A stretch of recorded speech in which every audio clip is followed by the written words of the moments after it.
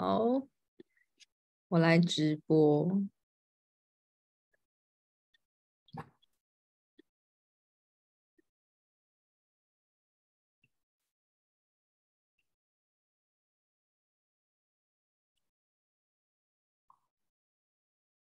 我先抓一下。我发现我会直接挡住我们公司的 logo，不过算了，没办法。哦，你也可以秀出 logo 啊。算了，没关系，这样你能看到。好，因为我是 我是非常我是非常 relaxed。超大的 logo 的啊？我说你的 logo 超级超级清楚，我觉得很赞。哦，对啊，就是有有重新做这样子。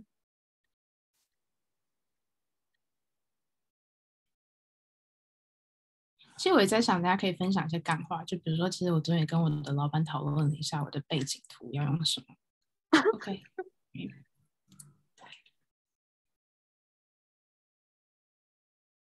好，看看我们上我们 on air 了，耶，on air 了，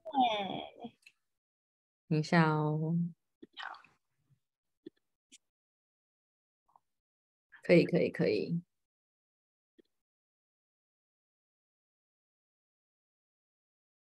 好的，因为我现在荧幕有点小，所以我要同时小荧幕，我要同时观看三个荧幕这样。哎，你是有双荧幕对不对？我记得。嗯，我现在没有，因为小朋友在外面，所以我现在是躲在房间里面直播，就没有双荧幕，就只有单荧幕。好，那我们就来开始吧。好，前一阵子呢，哎，等一下，先跟大家说声好，大家呢，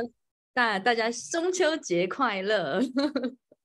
中秋节快乐！对，欢迎收听五岁都要懂的国际观，我是 Lara，已经非常非常久我没有采访人了，感觉上一次采访呢是彭光伟记者，已经哇好几个月了，当时人我还在莫斯科。那我今天呢，Lara 非常荣幸请到一位现在人在英国工作的 Charlene，今天我们要来聊什么呢？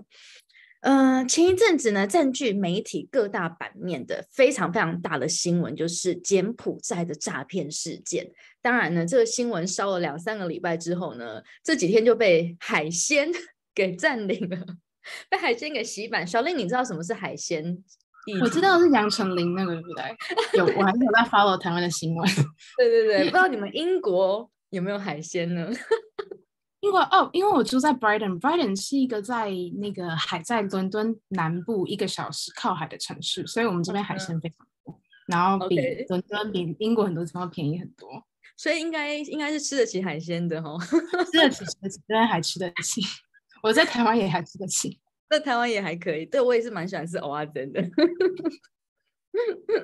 但是呢，当然昨天因为刚好你在英国嘛，其实昨天发生了一个非常，我想是前天啦。发生了一个这个非常非常嗯，我想举世都很难过的一个事件，就是英国的前女王伊丽莎白二世她逝世辞世了，但她很高龄的辞世。哎，也许可以趁这个开始的时候跟我们分享一下，你在英国你有感觉到就是英国人民的一种真实的感受吗？就是大家是一片很悲伤的，还是？我可以分享一下，就是事情刚发生，就是新闻刚爆出来那几分钟，因为那时候我刚好下班，刚好正要走出门去上上我一个运动的一个课，然后这时候我就看到我室友传讯息给我说，宣布消息就是女王辞世了这样子，然后那时候我就那时候我就吓到，因为我觉得很，我觉得蛮意，应该说我知道很高龄，但其实这件事真的是蛮突然的，因为毕竟今年就是我们也才。英国刚庆祝了女王登基七十周年，然后她健康状况看起来都还可以。对，然后我就记得我走在我要去上课的路上，就听到路上很多车在按喇叭，应该就是致正在致意的意思。嗯，对。然后等到我下课出来，就看到我们这边的车站，然后很多那种网呃电子那种看板、广告的看板，全部都是放女王的照片，然后跟她的呃逝世的年年份，二零二二年这样子。嗯哼，对。然后这几天在英国的主要媒体、然后报纸等等，也基本上全部布满了就是女王的照片跟各种女王过去的事迹，以及她作为英国人民一个很重要的呃精神精神支援支持这样子。对，嗯，对，尤其是他在辞世的两天前才刚任命了新的首相那个 Liz Truss 嘛，然后好像看到报道，虽然说他的那张照片已经是很瘦了，但是他还是。整个服装的那个仪容啊，都还是很对，很整齐，然后脸上都还是挂着笑容。就是那张照片，其实看到之后，你真的很难想象说，哎，怎么两天之后他就离开了这样子？就离开了，嗯，真的，对啊，就是虽然说我们在台湾可能，嗯，跟英国女王最直接的关系其实并。那个牵连并没有这么大，但是确实它就是象征着一个时代的改变。然后，尤其是在这两三年整个世界很动荡不安之时，它它给人家感觉是非常稳定、很安定的力量。没错，他从在二战开始给人的就是这样的感觉，包括他坚守坚守在英国，坚守在伦敦，然后到后来。就比如说近年来也经过的是疫情，然后之前脱欧，然后经济垮台等等，这些它就是它就是给英国人民一个很坚定跟安定的力量。所以我就觉得刚好我现在在有一种在英国见证一个历史、见证一个时代的终结的感觉。对我，我觉得我们这三年哦，真的是在见证时代、见证历史。没错。我们就活在那个历史里面，就感觉这三年发生很多事情，可能十年、二十年后都会出现在历史课本里面。对，也许过去的人可能他的一辈子都还经历不到这么多的大的历史上的大事件这样子。那。今天邀请小令来呢，真的是非常的开心，因为其实，在上个礼拜呢，Lara 已经很私心的邀请他到我们周六国际新闻班，跟我们的小朋友们分享了关于柬埔寨的事件。但是，毕竟上课时间很有限，那这次呢，我又邀请再一次的邀请小令呢，在节目上，我们希望可以让呃大家可以更真实而且深入的去了解这个，嗯，我们台湾叫柬埔寨诈骗事件嘛，到底它的始末是什么？那呃，可不可以一开始先请小令先自我介绍一下，就是说你的背景，你从事的工作。好，没有问题。就大家好，我叫做然后我是台湾人，我的中文名叫陈静宇。然后我现在是在英国的一间顾问公司，也是社会企业服务。然后这间顾问公司叫做 Humanity Research Consultancy。所以顾问公司顾问思义就是我们提供的是顾问服务，我们为我的为我们的客户服务。所以我目前主要的工作内容，哦，我是一位专案主任。然后目前的工作的内容呢，就是处理各式各样不一样的呃不同的研究案，然后与客户沟通，然后做呃跟人口贩运、国际发展相关的研究等等。那我讲到人口贩运跟国际发展，这也是我们公司主要在做的业务。就我们公司就是其实最开始创立的宗旨，就是要在呃，就是想要打击人口贩运，然后打击现代奴役，提升全球的一个人权标准，这样子。了解。那其实小林看起来年纪很轻，应该就是 是二开头的，我不能跟你说话了。那我想，因为因为其实我们认识是因为之前哦，我们参加这个台湾难民周，然后你们邀请我来讲解，跟小朋友来聊一聊跟难民有关的这个绘本的故事，所以你好像都是在从事这种很大的社会议题的工作。那可不可以？为什么你想要从事相关的工作呢？我觉得可以从我可以稍微聊一下我自己的背景，就是我是我大学是在台湾福大念的，然后我读的是社会系，然后二零我二零一九年从大学毕业之后，我就直接过来伦敦念，我在呃 Kings College London，就是伦敦国王学院读的是呃 International Conflict Studies，那翻成中文的话是国际冲突研究。那我这个国际冲突研究，它是在 Kings College 的。War Studies Department，然后翻成中文是战争学院里面，战争学院是战争学院，所以顾名思义，就是我们这个学院里面，呃，所有相关的专业在做的研究都是跟战争、冲突、和平、人权等等相关的这样子。对，然后我最开始在台湾，呃，我在读社会系的时候，因为大家可能知道社会系有很多。可以有很多各种不同面向，有比较偏，比如说社会关怀，有比较理论的，然后有比较呃，比如说走经济学面向等等。那我自己比较有兴趣的是移民政策。嗯哼，嗯哼。所以说我在读大学，就是我都还在台湾的时候，我在台湾主要做两件事情。第一个是我有在呃，大家可能有蛮蛮多人听过叫台湾人权促进会，我是在这个地方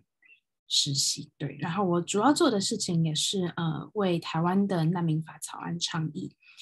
就虽然说台湾就是很。很可惜，就是到目前为止，呃，难民法还没有办法真的三读通过，然后台湾目前就是一个没有难民法的一个状态。对，但是这是我在台湾做的事情。然后另外一个，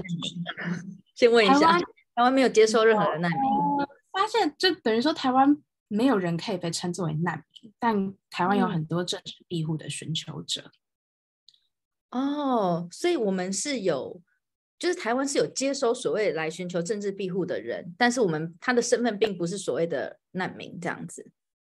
嗯，准确来说，台湾有这些人，但台湾并没有接收他们。就是目前我们在台湾看到的这些政治庇护的寻求者，他们可能是通过旅游签证，就一般的，就像我们去，比如说台湾人去英国有三个月免签旅游免签这个概念，他们可能进来台湾，或是以工作签证。其他方式进来台湾之后，嗯，就想办法留在这边。那就我所知，目前蛮多这样的呃政治庇护寻求者是以没有任何签证、是非法的状态留在台湾，但他们也没有办法回到自己的母国。可是就我所知，我们现在可能不具名哦，就是有有一些政治来，就是比较知名的一些政治庇护者、寻求政治庇护者，他们在台湾其实有些是公开露面的耶。但他的身份其实不一定是合法的，就对了。嗯，就我当时在实习，跟我在之后呃收集到的资讯，就是有台湾有几位，比如说有一位西藏的算是人权领袖，在台湾他是他是已经拿到了身份证跟合法啊，OK，合法。对，所以在台湾露面的基本上嗯都是都是已经合法的。嗯哼，嗯哼。那我我可以分享一个案子，就是在呃有一位，就我就就为了保护他的资讯，我就不透露国家，但他是从非洲一个国家过来的一位女性，然后她是一位同性恋者，然后在他的国家同性没听到，哦，他是从一个女性，OK OK，嗯哼嗯哼，一个，然后她是一位同性恋，然后在他的国家同性恋是完全不被接受的，嗯哼，所以他。就只好跟，而且不被接受的程度不只是我们单比较简单想歧视或是霸凌等等，而是真的有人身上面的安全。嗯哼，嗯哼，对对，要么是刑罚，要么是可能是家人，比如说荣誉谋杀，说，嗯哼，对，荣誉荣誉杀害，对对对，了解，荣誉杀害。所以他后来就跟他的伴侣决定要逃出他们的国家，结果在逃出来的前夕，他的伴侣被被杀掉了。天呐！所以他最后是一个人逃来台湾，然后目前他也是呃透过慈善团体、一些非营利组织，以及在台湾的其他可能是同胞等等接接济他生活，因为他没有身份，他没有办法拿到难民身份，没有办法工作，对，然后也没有身份证，没有身份证你也不可能真正的去租房子或是对，没错，这样子。对对，所以其实像，尤其是像我们在国外生活，你就可以很强烈的感受到，就是当你在一个地方你没有身份的时候，其实真的是寸步难行。你没有办法租房子，你没有办法买什么不知道公车卡干嘛之类的，就是说那种长期的，对，然后你没有办法申请，尤其是最重要就是可能就是健保之类相关的医疗。没错，医疗。对，其实。没有身份这件事情真的是，嗯，如果今天我是一直都在台湾，就是土生土长的，也许这一辈子我比较难去想象说什么叫做没有身份的生活，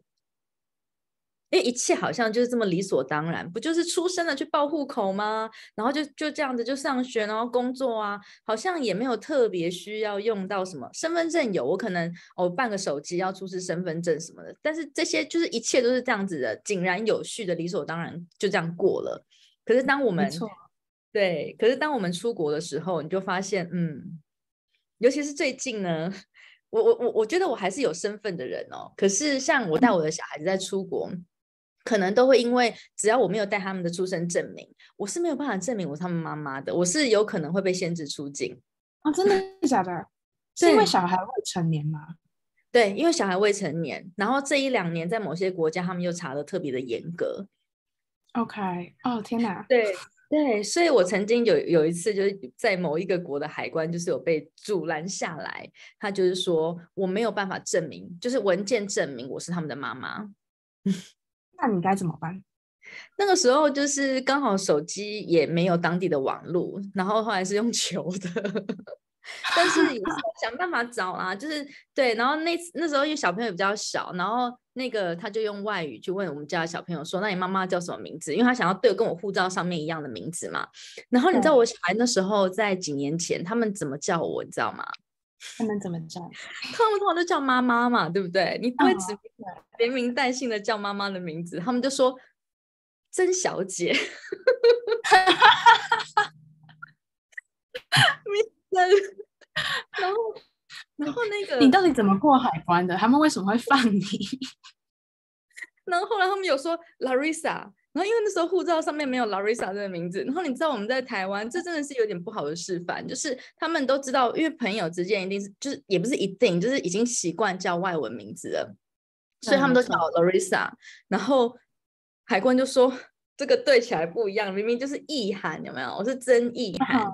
Larissa 是什么东西呀？就就就对对，那时候我本来一开始还很开心，因为那海关长得像美国队长的样子，好帅。然后想说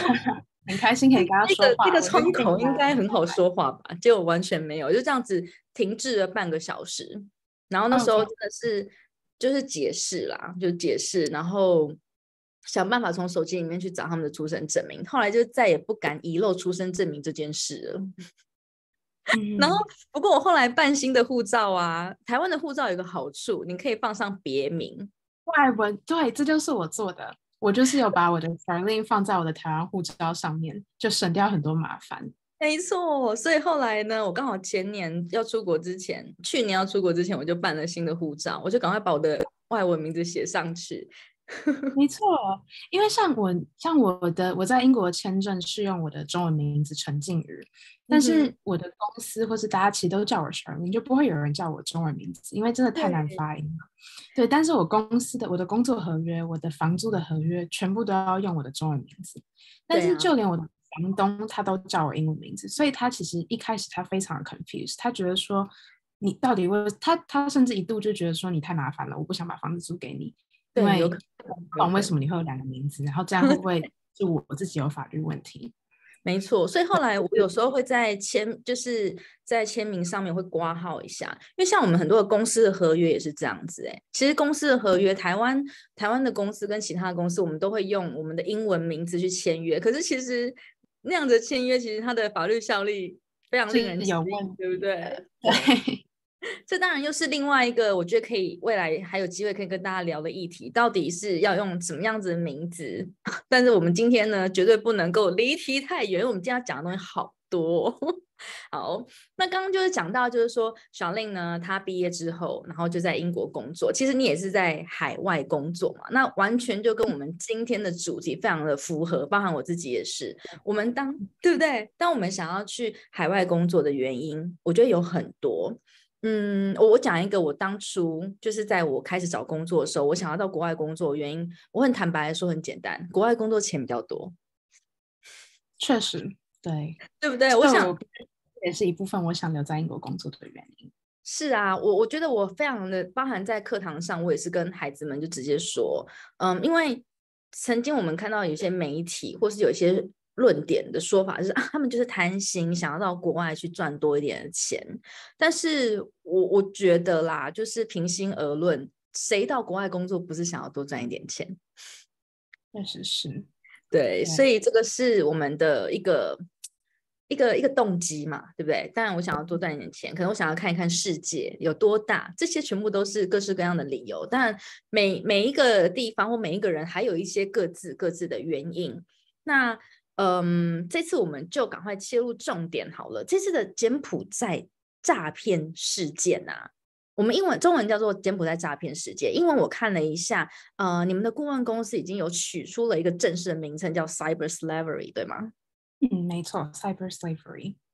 那可以跟我们来说明一下，为什么会这样子去把它做定义呢？嗯，没有问题。就是其实我们取的是在这一场这一起人口贩运跟这些案件里面最核心的两个要素。第一个就是 Cyber，Cyber 就是网网络是他们是罪犯用来招募这些受害者的工具，也是这些受害者被骗到柬埔寨或者骗到缅甸工作的时候，他们他们自己也是被强迫去。进行诈对别人进行诈骗是，所以等于说这一切这所有的招募，然后聘用跟犯罪的过程都是发生在网络上。嗯那第二个词 slavery，slavery 是奴役的意思。那奴役就包含了强迫工作，然后强迫一个人为你工作，限制他的自由，并且没有办法给出相应的报酬。那这个就是很多的受害者在柬埔寨他们所面临的问题，就是他们被强迫犯罪，强迫去进行诈骗，但他们也领不到薪水，然后也没有好合适的呃生活工作环境，然后也没有办法自由的离开他们离开柬埔寨，没有办法自由的回家，甚至他们的护照、身份证件很多都是被扣留的，所以我们就把这两个呃 idea 放在一起，就变成 cyber slavery。嗯，了解。嗯，确实，这次整个事件，它，嗯，就跟我们之前以往我们可能会听到那种，就是什么被人家卖到哪里去啊，然后什么割器官啊，或是做一些实际上身体上面的交易。但是这次的事件，它真的就是完完全全的发生在网络上面。没错。嗯哼，好，所以我们记得，这应该算是一个比较新的名词嘛，cyber slavery。嗯，cyber slavery。然后，其实我们目前这个词，这是我们公司最后决定在我们发表的报告上用的词。但大家如果看各个国外媒体，他们可能其实用的词大家都不太一样。有人用的是 telecom scamming，有人用的是 online scamming and slavery，有人是 online scamming and human trafficking。就我觉得这些词都其实都富含了这个这个呃案件的核心。然后目前我们没有真的很官方准确的词可以用。嗯哼，了解。那我们就赶快来看一下，就是说这件事情整个始末，可以请你帮我们来分享吗？包含它发生在什么地点，然后为什么这些人会被骗到柬埔寨跟缅甸去这样子？OK，我先来分享一下呃发生的地点好了。嗯，好，就是嗯，就我不知道大家看没看到我的背景，就我的背景其实是在柬埔寨的一个诈骗园区的一个。的一个呃空拍图，一个卫星照片这样子。然后目前呃，大家可能听到最多就发生在柬埔寨，柬埔寨。但到底是在柬埔寨哪里？我这边哎，我这边可以分享荧幕吗？可以，可以，可以，你可以分享。我我看一下，这样大家看得到我的呃那个地图吗？嗯，有。OK，好，那。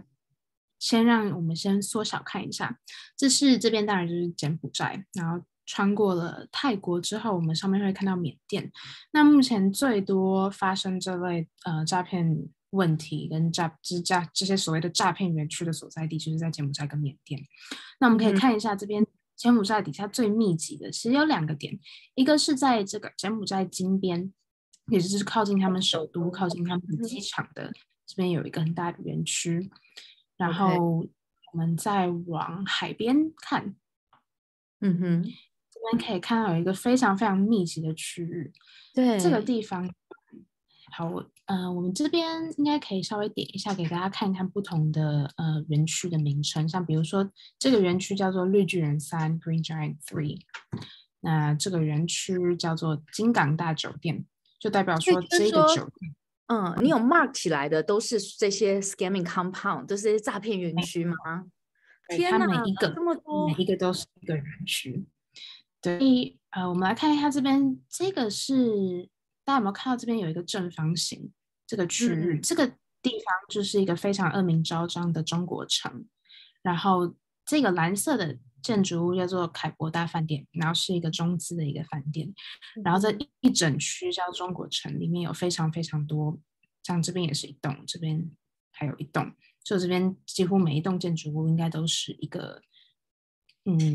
诈骗的据点这样子。对，然后我们来看一下为什么这一区聚集了这么多这么多的诈骗园区。这边叫做这是西哈努克市，柬埔寨的西哈努克市，那简称西港。那这边西港这边附近有一个，这边有一个很多建筑的地方，叫做呃西港的特特呃 special economic 上特别特殊特别经济园区。那在二零一三年开始呢，就是因为在“一带一路”的影响之下，就中资大量的涌入，就是部分东南亚国家。那这个西港经济园区以及它附近的这个西港这一带。全部都因为这个“一带一路”跟中资，所以很蓬蓬勃蓬勃的发展起来。所以大量中资进来，二零一三年开始，这边赌博业、娱乐业、饭店业，各式各样的呃这种行业就在这边发展。但是到了二零一九年，柬埔寨突然明令，就是说，呃，从现在开始不可以，呃，所有的赌博都是禁止的，就等于说赌博在柬埔寨就已经不是合法的。然后接再接下来，二零二零年就发生了我们的疫情，所以在这两件事情的影响之下呢，就有很大量的中国商人，一些合法的中国商人，他们就只好撤出西港。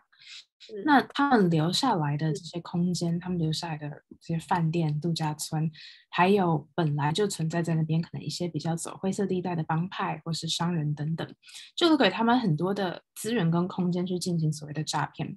因为在疫情之下。各国边境关闭的关闭，然后限制的限制，这时候你最好赚钱的地方其实就是网络，所以这个呃，cyber slavery 就是在疫情期间被呃被创造出来一种新的犯罪手法。那最开始大部分的受害者都是中国人，所以中国人他们就会从要要么是投毒，要么是合法。就这些园区，他们可能会以为哦，我是来这边的五星级饭店，来这边的五星级赌场工作。但抵达了才发现呢，其实全部是被要求做诈骗。那在疫情之后，因为中国的边境管控越来越严格，中国人比较困难可以出国，所以这些诈骗集团就开始，或是人设集团就开始把目标转向，比如说台湾、马来西亚、香港。泰国、越南等等国家，也就是为什么现在呃这件事情这起案件里会有这么多台湾受害者，还有这么多别的国家的受害者。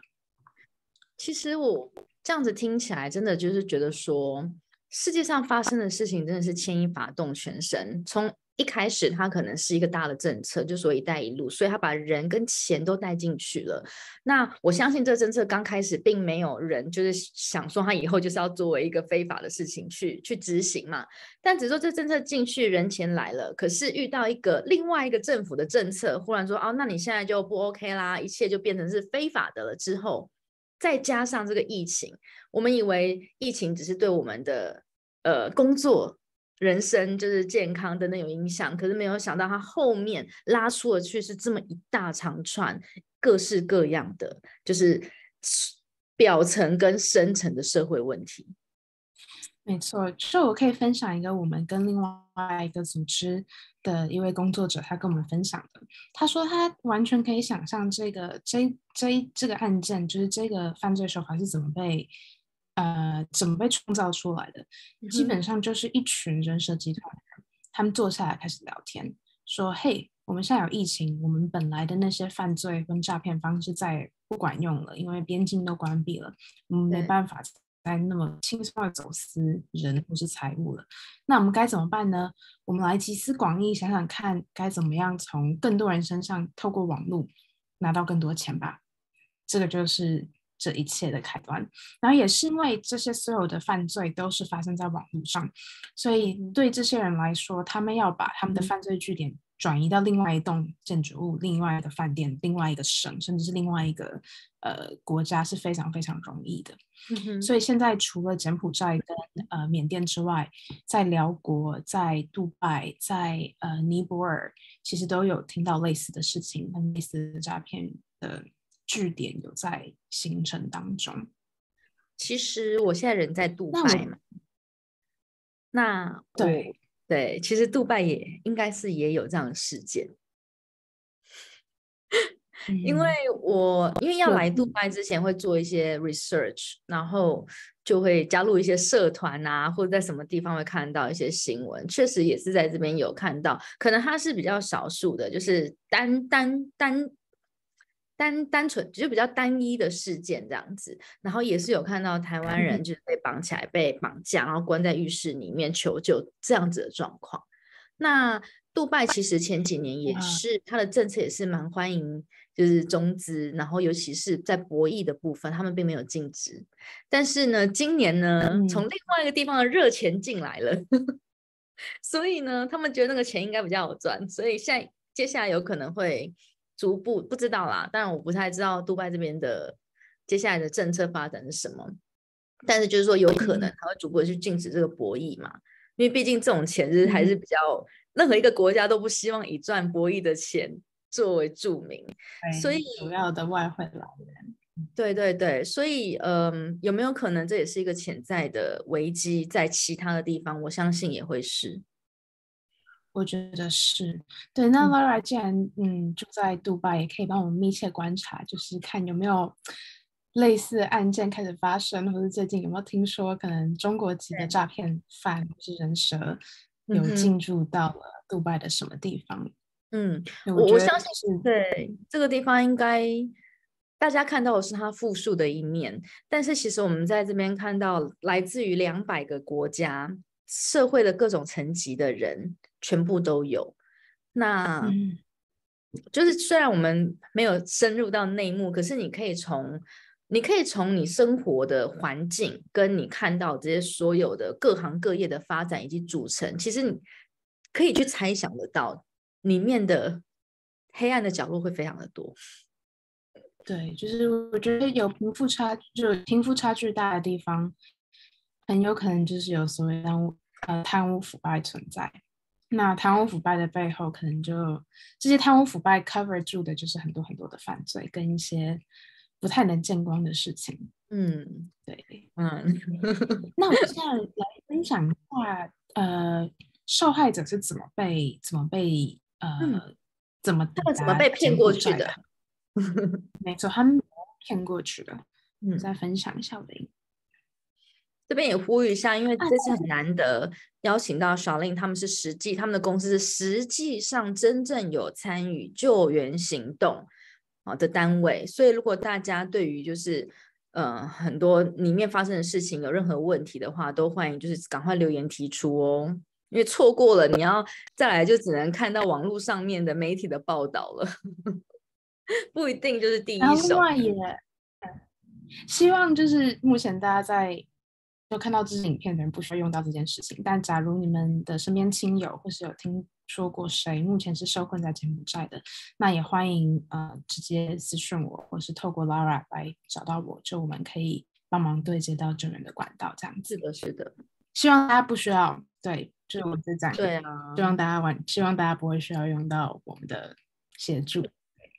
好，那我来看一下，就是有多少呃受害者，跟这些受害者是哪些人？好了，就刚刚 Lara 提到说，我们公司也有在进行救援行动。那我们目前接收到的受害者，或是已经逃出来的幸存者，当然有台湾人、中国人、香港人。然后，呃，越南人、孟加拉人、印印尼人、印度人、斯里兰卡人，甚至有两个美国人，就完全是在地球另外一端的美国人。那在根据这些逃出来的幸存者，他们跟我们分享说，他们在园区里面其实还有遇到更多的人，有遇到乔治亚人、呃，俄罗斯人、马来西亚人，还有泰国人。那实际的数字，当然我们没有办法真的有一个很明确的，呃。数字的一个数据出来，但是我们可以稍微估算一下，就是有少有多少人在这些诈骗园区里面。就根据我们的呃幸存者分享，在一栋房子呃一栋这个诈骗园区的建筑物里面呢，一个办公室里面可能可以容纳大概五十个受害者在里面进行呃强迫诈骗的工作。然后每个每一层楼可能会有两到三间办公室，然后一栋建筑物通常是五层楼。然后在一个园区里面，可能有大概五十个、三十个、五十个呃不同的建筑物，所以其实我们可以想，可以想象得到，就是这实际的受害者人数可能有有上万人。那刚刚在大家在地图上面也看到了，有非常非常多的园区散播在柬埔寨跟缅甸的各处，还有包括我们还不知道的在苗国的、在杜拜的、在呃尼泊尔的的园区，所以实际数字是非常非常难以估计的。那这边也是啊，这是刚刚有跟大家分享到的中国城，在柬埔寨有大量的啊受害者的中国城的照片。那这边呃，这是另外一个在柬埔寨的园区，叫做波哥山园区。那大家可以看到，这园区旁边其实就是被树林所呃树林森林所围绕，所以受困在里面的呃的受害者是非常困难离开这个园区，去到附近有有人烟的城镇去求救的。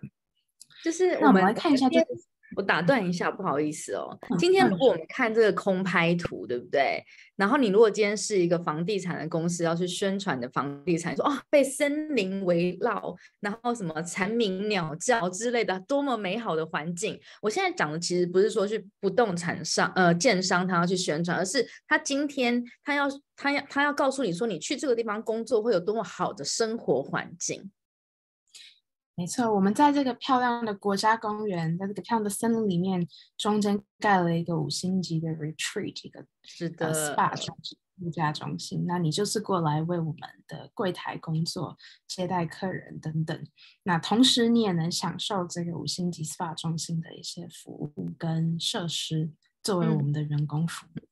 那其实这听起来是，就我我自己都觉得很吸引人。对啊，而且它不是只有空话，它还有。他实际上图片也给你看了嘛，当然他给你看一个空拍图，那你一般看到会觉得说，哎，好像又更有稍微有一点更有信任感了，因为你有看到东西，对不对？没错，而且就我们的新闻者也有跟我们分享，当初他们在被招募的时候呢，这些人设集团他们会给他们非常多精美的 DM，然后上面就有他五星级饭五星级饭店的设施服务，甚至是一个晚上一般的客人的。呃，入住的价钱是多少等等，就看起来是非常非常真实的，就好像真的就煞有其事。那你其实我们就很容易很容易，就你也无从无从无从查证起，因为对你来说这些这么多资料，然后甚至是这个人本人来在台北跟你约一个约一个时间，说哎，我们约在某一个 Starbucks，我们来聊一下，我来跟你看一下实体的合约、实体的照片。然后让你知道说我们不是诈骗，因为我我本人都出来跟你聊天了，是不可能是诈骗吧？对。好，那我再继续大家看，就是这些人到底是怎么被骗过去的呢？那我们目前我们公司掌握到了五种不一样的呃管道，然后第第一个就是。从这边我们说 through legal major job matching websites，那这个其实就是指台湾的一零四还有一一一人力银行。那我当然没有要呃指责说一零四跟一一一就是他们没有没有做好什么事情。我想说的是，有很多的人设集团跟诈骗犯是透过这些大型的、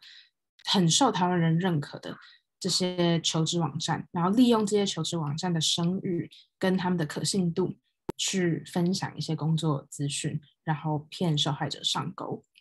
然后再来有些人呢，他们是呃人设集团，他们会假装自己是客户，就说哦，我来跟你，我们这边有一个服务，或是我们我们这边有一个事情，或是一个 business 需要你帮忙，那我邀请你来柬埔寨做一个实地考察，然后给我们一些建议，或是我邀请你来柬埔寨参加一个会议，给我们你专业上的建议。等等，用这种方式把人骗到柬埔寨。然后另外一种呢，也是是从是我们得知有，应该是大部分的受害者是从这个管道过去的，就是这些诈骗集团可能会在比如说 Facebook，比如说 Instagram 上面。放，尤其是 Facebook 有很多那种，比如说打工社团、海外打工社团、海外留学以及打工度假社团等等，他们就在这些社团里面 PO，然后吸引这些有出国梦或是哦想试试看去打工度假的年轻人去应征这些工作，然后就把他们骗到柬埔寨去。然后再来是有些人也是被朋友骗过去的，就可能。只能说可能不小心交友不慎，或是朋友被诈骗的集团 recruit 进去，胁迫这样子。嗯哼，对，就把人骗进去这样子。那再来也有是透过绑架的，那这个可能比较少见，但是也是有的，就是他们是在不知情的情况下就这样被绑到了柬埔寨这样子。刚刚有一个比较特别的点，可能是之前我看到大家媒体报道比较少讲到，就是说其实他们有针对某一些有专业的人士去做 recruit，对不对？因为大家一般比较常会说，哦，你可能是一些就是呃工作的媒合，或者是说呢，就透过这个出国出国这个工作的一些社团，这些管道我们大概比较能够理解。然后也是很容易就可以联想得到的，但是就会想说啊，那这些人他是不是没有特殊的专长，所以他怎么样怎么样的？可是其实这边有有一些是他有特殊的专长，他可能在他的领域上面是很专业的，他就用这个借口说，我们就是需要你的专业去征求你的意见，所以请你来出差一趟，或是来做一个这个商务的呃访问。我们有一位幸存者就跟我们分享说，这些人蛇集团他们是非常非常聪明的，他们并不是一套诈骗方式，然后乱枪打鸟，他是他们是有一百套诈骗方式，他们是认识你，他们 approach 你之后跟你聊完天，选从他们的一百套已经建立好的诈骗方式，选一套最适合你的，所以基本上每个被骗过去的人都像是他们是被一个 tailor made 的 package 给骗过去的。就是量身定量身定制一套可以把你骗过去的的的 package，那你是它已经不是一般最基本的那个 SOP 的那种很粗浅的诈骗手法了。其实他们真的是非常的克制化，没错，非常非常克制化。太可就我们甚至有听到幸存者跟我们分享一个案子，是他们在台湾呃设立一个空壳公司，然后在一零四上面。呃，开始征才，说我们需要董事长特助，我们需要行政人员，我们需要会计等等，然后就招募了二十个人进来，进来我们公司，让他们在这个公司打杂，然后随便做一些事情，半年，然后每个月给他们，比如说三万块台币的薪水，半年之后呢，等于说二十个员工，一个人一个月三万块，这样是六十万，那半年是大概三百六十万。他们就这样投了大概三百六十万，再加上可能办公室租金，加起来四百万台币好了。半年后，这个四百万投台的投资下去了。老板跟所有员工说：“呃，谢谢大家过去半年辛苦的付出，我现在要 organize 一个员工旅行，招待大家去柬埔寨玩。”于是这二十个员工就一起开开心心去柬埔寨，一起被卖掉。那每一个人的价码可能就是两万美金，两万五千美金。当初这个老板在台湾这个空壳公司投资四百美四百万台币，是轻轻松松就可以回本的。那这位幸存者也跟我们分享，呃，这二十个人，二十个可怜的员工，一上了从台北到呃金边的飞机，人社集团就在飞机上开始开始打开漫游，开始喊价，开始卖人。我们这边有二十个人，几个女生，几个男生。这是照，这个是 A 的照片，这是 B 的照片。A 是几岁，B 几岁，C 是几岁？谁要？你们竞标这个五千美金、一万美金、两万美金、两万五千美金。等到一下飞机的，等到飞机降落的时候呢，所有的买主都买好了，车也在机场等好了。他们一过海关，进了入境了柬埔寨，每个员工就被不同车、不同的买主载了，然后就被放被载到不同的诈骗去了。天哪，这是。是比较罕见的案例，但是是有的。对，好，我刚刚刚刚就在我们说话的同时哦，我的一位，我不能透露他的身份，这样子，他传给我一个，他前一阵子也被那个柬埔寨的找上了，然后呢，这个集团呢，哎，你帮我听听看，你有没有听过这个集团？跟白沙湾有关？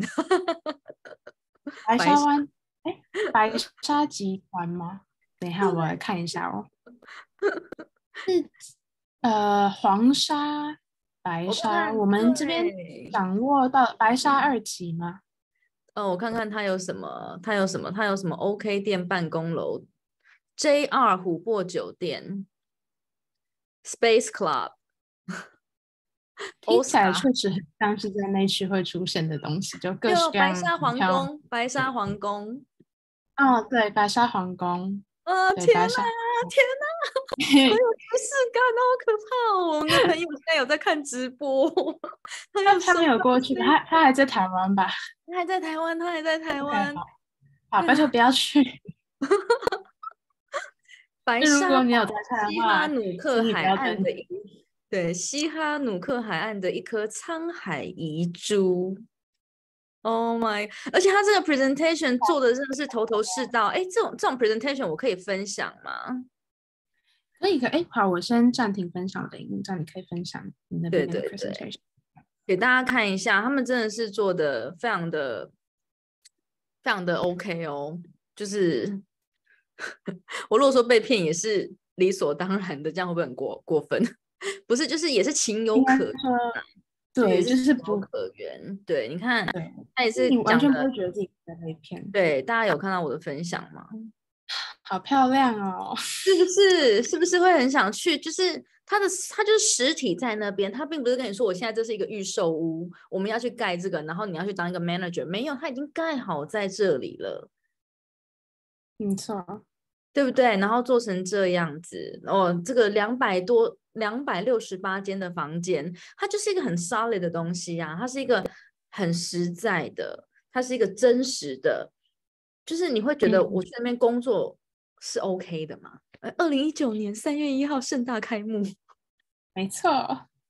这是，而且你去 Google 上面找这些东西都是看得到照片的，就你看得到照片，甚至是我们我们我们觉得自己觉得蛮 creepy 的，就是在很多这些饭店底下还有很多留言，呃，不是留言，那个呃评评价，因为他当初盖是是为了很多饭博店弈呀，他真的就是为了要吸引就是投资客或者是观光客。我想当初盖的也许不这样，它只是后来被拿来作为其他的运用嘛。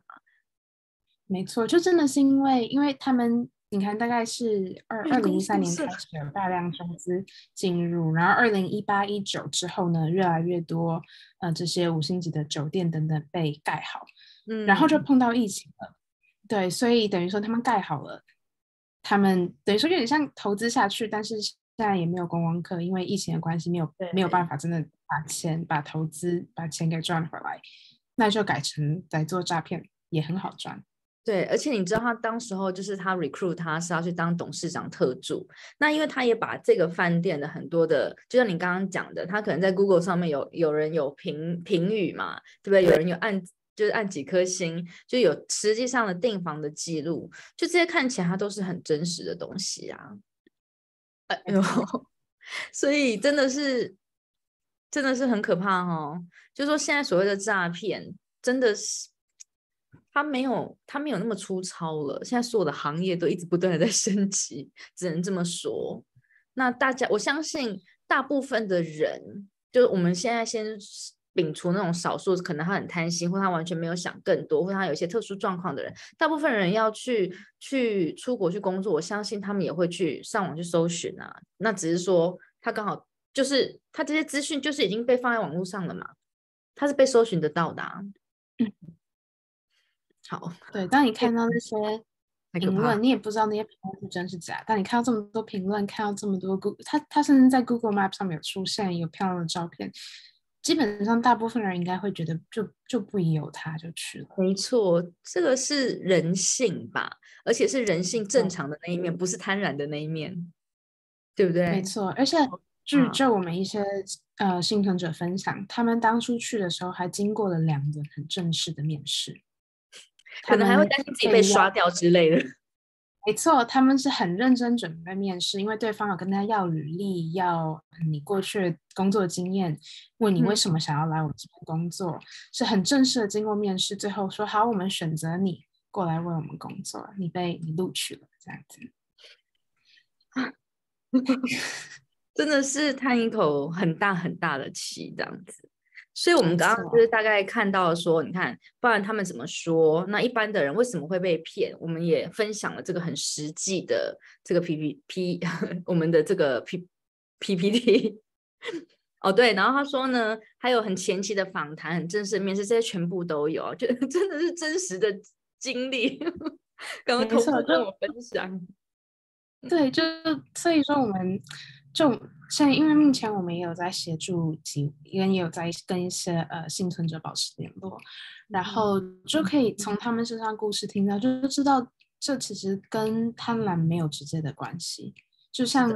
有时候看到一些受害者或幸存者会在网络上面被奚落，然后被嘲笑说啊，你就是太笨，就这种东西怎么会有人信？柬埔寨一个月六万，你在台湾都赚不到六万，你你怎么会相信你去柬埔寨能赚到六万？等等，就是有这些奚落的言语。但是当你实际跟这些幸存者聊过，然后知道他们的故事跟经验，其实你完全不会有这样的想法，因为你就发现他们真的是。就这些这一切东西都被包装的这么的真实，然后这么的严肃，对他们来说，他们真的是去应征一份工作，他们是想要好好的去赚钱，并不是所谓的贪婪就过去了。然后另外一个我想分享就是，其实我们我认为就不只是台湾人，就所有的人，我们最应该做的其实不是去嘲笑或奚落受害者，而是去谴责加害者。为什么加害者要骗人？为什么你要去剥削人？为什么你要去做人口贩运？你们怎么可以做出这样的事情？而不是反过来去问受害者说：“你怎么会笨到被骗呢？你怎么会笨到被卖呀？”我觉得这完全是有点本末倒置的。对，嗯确实，因为我我觉得啊，为什么在发生很多的事件，无论是今天这个诈骗事件，或是包含女性被侵犯的事件，为什么谴责被害者是一件比较容易的事情？是因为被害者人就在这边。对，嗯，他就出他是一个很一个 target。对，对他，你就是看得到他，因为他出来发声嘛，不要不他就是出来发声，要不他出来被拯救了，要不他是幸存者，所以你只看得到他。可是因为加害者一直在后面，他是一个比较模糊的概念，所以面对我们直接跟受害者说话，感觉好像比较容易跟比较快。可是这个就是一直不断的在造成伤害，因为谁没有被骗过，对不对？我们我们人从小到大，谁没有犯错过，或谁没有被骗过？那当我们在遇到很糟糕的事情的时候，其实真的是最不需要的，就是就是恶度的伤害。对啊，而且，嗯，在我们今天了解了这么更多的是这些他们的手法是什么？其实他真的是天衣无缝哎。如果我们今天不知道这些，我们就是因为媒体就就开始说啊，他们就不懂。就像你刚刚讲的，怎么可能柬埔寨这种落后的国家，你怎么可能什么赚个六六万、八万、十万的呢？问题是人家是在五星级饭店工作啊，哪一个国家没有观光业呢？所以太多太多的这种可以直接拿来嗯，直接去奚落的，或者直接落井下石，真的太容易了。落井下石真的太容易了。但是落井下石非常非常容易，但是要有呃去了解事实的全貌，然后去使用同理心，这些可能需要花更多时间让去你你得去做功课，你得去真的去了解。但很多人是可能不太愿意去做这件事情，而是最最就像你讲最容易的就是落井下石。对啊，而且最容易就是跟着大家一起讲嘛，我还要做功课，我还要跟别人不一样的意见，这样人家会觉得我是怎样很好骗吗？对不对？而且既然大家都在骂，那我我跟着一起骂应该还好吧？就已经这么多人在骂了。对对，所以我觉得面对尤其是网络，我我觉得可能人越长越大，然后看到的事情越来越多之后，我也越来越不敢斩钉截铁的去评论一件事情，因为我相信每一件事情它的无论是内幕也好，或是它的理由，真的是太错综复杂了。只要不是自己的事，其实我们真的都没有资格。在第一时间做出评论的，嗯嗯，就甚至是对我们来说，我们跟幸存者谈过，我们看过这么多照片资料，但我自己也没有实际去过诈骗人区，我也没有经历过，就甚至是我自认为可能相对来说比较同理心，但是我也我其实也不知道事件的全貌。我只能就我在透过我的救援工作等等，能到能够得到的讯息，呃，受害者或者幸存者愿意分享给我们的讯息，再分享给大家。但是甚至就连我自己，我也不是很知道这整件事情到底是怎么回事。没错，我觉得很很喜欢像这样子的一个沟通跟谈话，因为像我自己，呃，我这边也就是再再插一下题外话好了。今天是中秋节，就在整整一年前的中秋节，我采访了裘振宇裘教授，也就是台湾雷汉乐世界公民中心的执行长。嗯，裘，我因为那次采访，他在土耳其。然后他现在人在德国，就是啊呃被邀请去被邀请去访呃去去演讲这样子。那就是在整整一年之前，我知就是得知了这个难民，就是我们这个叙救助叙利亚难民这个台湾中心。然后在这个之后，我才开始加入。那嗯，一年前我对于难民的认识，跟现在我对于难民的认识，就我对他们的的这种关心，只有有增无减嘛，可以想象。可是，嗯，我的定义，我对难民的定义，或者说我对难民整个他们呃事件，他们过去的经历，跟他们现在重建的生活该怎么去做，还有他们每一个人的故事，我现在已经有完全不一样的想法跟理解了。越知道采访的越多，我觉得我越我越更没有资格说话。对，因为对我发现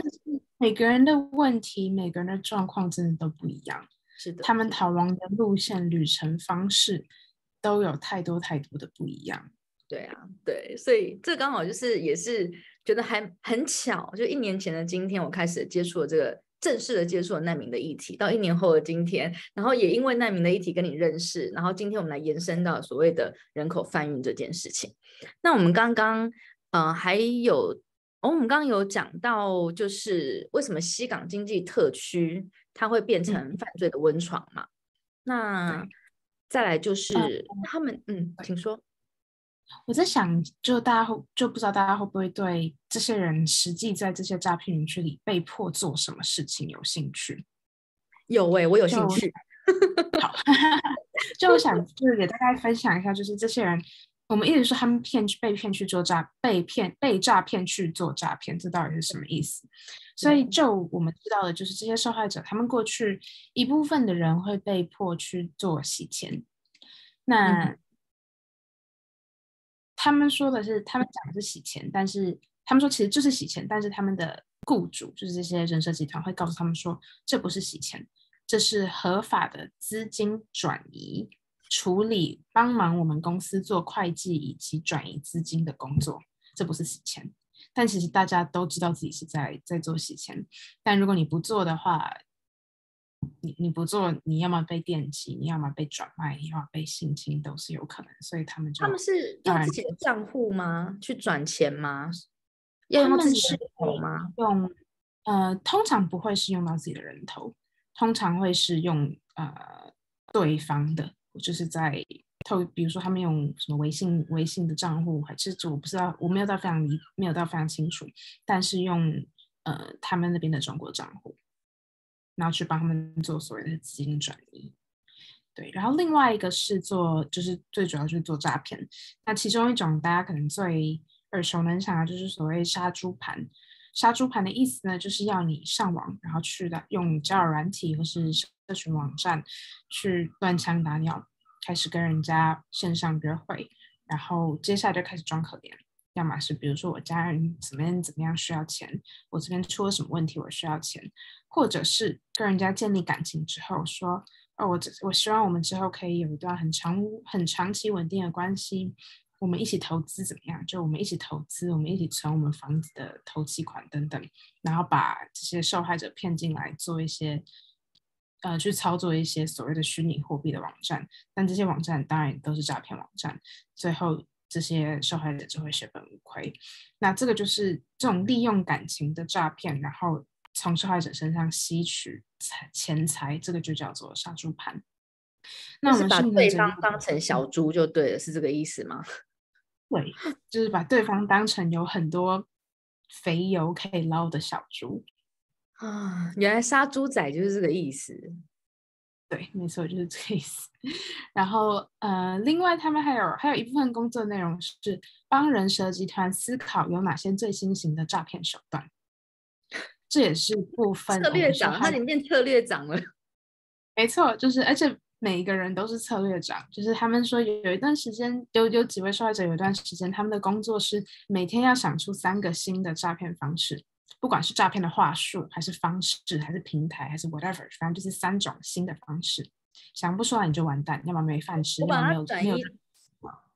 我把它转译成企业的企业的那个口吻，就是每天每个人要三个新的 business model 来。没错，对，就是这样。那每天每个人想三个出来，接着呢，他们收集到，比如说一个办公室二十个人，每天每个人想三个，一天就有六十个，一周五天，他们是一一一周不可能只工作五天，可能六天七天，但保守估计一周至少有三四百个新的诈骗的故事或者话术会被生产出来。他们就把这三四百个话术下去试，试几千个受害者，几千个潜在受害者。所以，像其实我们有时候手机上面收到的诈骗，或是 Facebook 我们莫名其妙被莫名其妙被加进去一些有的没的聊天，然后传一些什么来跟我一起赚钱的的连接，或者是呃 email 上面我们很常会收到一些有诈骗链接或是诈骗内容的垃圾邮件，这些很多都有可能是这些人。被测试或想出来的，对他们就想出来了，就开始测试几百个 email 发出去，看哪一种诈骗方式最多人回应，哪哪一两种诈骗方式最多人上钩。我们觉得哦，OK，这三百个里面呢，就这两种最赚钱。我们接下来一个月就主攻这两种诈骗，直到这两种诈骗可能在媒体上曝光，可能开始有人报案，可能怎么样怎么样，就发现哦，这两个不要康了，好。下一个，我们再我们再重新想三百个，我们再来试，像一轮一轮一轮下去，大数据啊！呃，这这就是为什么现在的诈骗会防不防不胜防，然后每天都有这么多新闻。像用什么？的很快。台湾上有那个什么，呃，就给你一个链接，跟你说你点进去可以领那个防疫防疫补助，防疫包还是什么的？对对对对，防疫补助。对，就说你点进去，你就可以拿到六万块的防疫补助什么的，这些都是我不会说都都是来自柬埔寨，但就是就是这些日新月异的手法。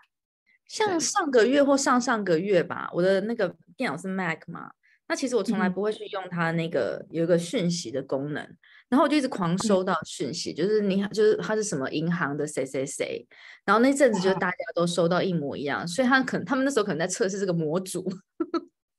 有可能。对，来看这个模组，可能我传了一千个人，只有两个人受骗，但我用另外一个 model，一千个人里面有三百个人至少会点进链接，你就知道哦，这个方法好像更容易骗到人，那我们之后都用这个方法。所以，嗯，我们一直我不知道，至少我自己哈，就是对于诈骗集团的内心会有一种，就是他们应该，嗯。感觉组织不是这么的精细的感觉，可是完全错了。这是一个非常精密的大集团，每一个螺丝钉都是非常紧密的分工合作，然后就是走大数据的概念呢。没错，确实是这样子。就是在这些集团里面有负责去去机场接人、接受害者的司机，有警卫，有办公室管理的人。然后甚至是他们，有我们幸存者有跟我们分享，就是他们可能每天早上会有一些精神喊话，然后在办公室里面放一些很振奋人心，对，很振奋人心的中国电音，然后鼓励大家说：“来，大家一起赚钱，大家一起想办法骗更多人的钱。”啊，对，然后还有一些很。呃，比如说你业绩没有到，或是你不愿意乖乖听话，我们会有一个惩罚措施叫小黑屋。那人被关到小黑屋里面，就可能是一个很阴暗的小房间，几小时不给吃喝，或者在小小黑屋里面，呃，进行轮奸或是呃殴打、电击等等。对这些东西，不知道的就是说，在这整个诈骗的产业链里面，是不是每一个人都知道自己在从事的的的工作？他有可能他是警卫，他不觉得他今天作为警卫他有犯错嘛？或者他今天甚至于他作为这个中央的厨房的厨师好了，但他这全部都是属于诈骗链其中的一员。但不晓得每一个人是不是都知道自己的公司在做什么？很可能很多是不知道的，因为我在猜，像刚你提到中央厨房，确实有这么多员工，他们就提供团膳，就是在房子里房这个建筑里面有一个专有的餐厅区。那这些员工煮饭的员工很有可能是柬埔寨当地人，他们可能也听不懂中文，听不懂其他罪犯讲的话，他可能就是认为我来煮饭的，我也不知道发生什么事情。嗯，那其他那些人求救，他也只会讲高棉语，他也不会讲中文，也不会讲英文，他什么都不知道。对，哎，讲到这边，我想跟大家分，不知道会不会太跳痛，但我想跟大家分享一下，我们一直讲这个诈骗园区，园区那园区里面到底长什么样子？对，需要园区。我们想知道诈骗园区到底它长得是很诈骗，还是长得一点都不诈骗？刚刚的那个饭店已经整个就是饭店很漂亮，我觉得是它不诈骗，很漂亮。诈 骗，可是它就是诈骗。对啊。到这边，呃，这边是我，因为我前面我刚刚跟大家分享都是在柬埔寨的园区，那这边也在分享另外一个在缅甸的，大家可能听到呃新闻上一直讲 KK 园区，KK 园区就是这个缅甸的水沟谷园区。OK，那在园区里面呢，大家可以看到这些建筑物，就有没有看到这个阳台窗户全部是被铁丝，呃，不是铁丝，铁栏、铁网、铁栏铁杆杆封死了，它好密耶，它连它完全不像台湾，对，完全不像台湾，可能只是防止小孩跌出来的那种大概矮的地方封一下，这是完全封死不让你出来。那大家在这下面可能也可以稍微看到有一些好像是监狱或是军营才会出现的铁丝网，旁边这栋建筑物也是完全，其实窗户是完全没有办法跑出来的。那我们怖再放大一点看呢，这些园区其实不觉得很像台湾吗？就很像台湾某看起来很正。常啊，看起来就是很正常的地方啊，这样子一它看忽然都看过去，没错，就非常非常感觉是其实就是很正常的一些对啊民宅或是建筑，但其实这些建筑里面就隐藏着很多的办公室跟宿舍，甚至是折磨人的的地方，这样子。就是地狱，外面是天堂，里面就是地狱。对，就是如果不知道的话，其实你经过了，你根本不会知道有人被困在里面，因为它看起来就是很正常的民宅。那这个是我们的受害者跟我们分享的照片，就是他从他的宿舍窗户里面往外拍，说我他住在住的这个地方是有在工厂区，或是感觉是有一个物流中心的区域这样子。那我们看了这些都是外观，我们来看一下房间里面。那我一开始有提到，就是很多是这些中资的五星级饭店，在疫情之后呢，就空下来，就转而变成一些诈骗集团地方。嗯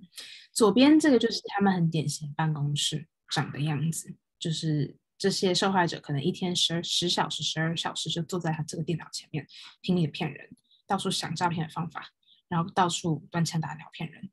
然后右手边就是他们的一个宿舍。哎，你说？不好意思打断，我刚刚看到这张照片，我忽然脑海里面跳出一个，我之前也是在脸书上面有看到，就是一个男嗯。生，然后就在拍影片，就说啊，他们现在这边的办公室有多漂亮，就是他，啊、他就他就要走上这个走廊上面，然后就一间一间进去，这是会议室，这是什么的这样子，然后就说我们现在在做一个什么科技的 crypto 啊，还是什么的，你知道，而且是年轻的男生拍嘛，感觉他有点潮。对我现在忽然就是惊觉，就觉得这搞不好就是很容易被吸引。对啊，对啊，对对而且像我现因为呃，在我这个我我们现在就很大家很喜欢讲新创公司，然后在新创公司那种很酷的工作环境，对然后比没较比错较先进的，比较怎么样，比较不像是比如说什么很传统企业就对啊对，像那种新创公司很明亮，然后呃平行管理，就是大家都是同大家都是平等的，在很舒适的环境下办公等等等。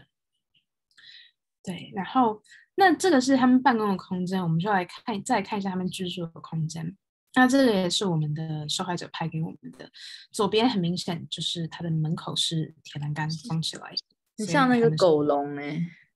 对不对？对，像狗笼一样，对对，他啊们是逃不出去。然后右手边这边可以看到，呃，这个照片有点不清楚，但左边这个蓝色的呃小网小呃帐篷，其实是一个类似警卫室的地方，所以嗯它就挡在这个铁铁门，其实是一个蛮感觉是个蛮呃蛮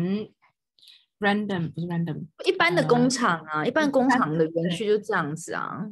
对，就是非常也不是特别戒备森严，但是就是可以啊看到是有这样的戒备，有这样的人，有这样的嗯警卫在这些宿舍里面。嗯，那我们来看宿舍里面的样子。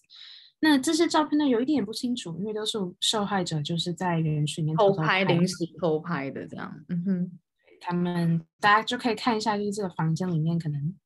在很小的空间里就摆了很多很多张双层床，然后很多人就挤在这些房间里面。对，然后嗯，接下来想分享一下，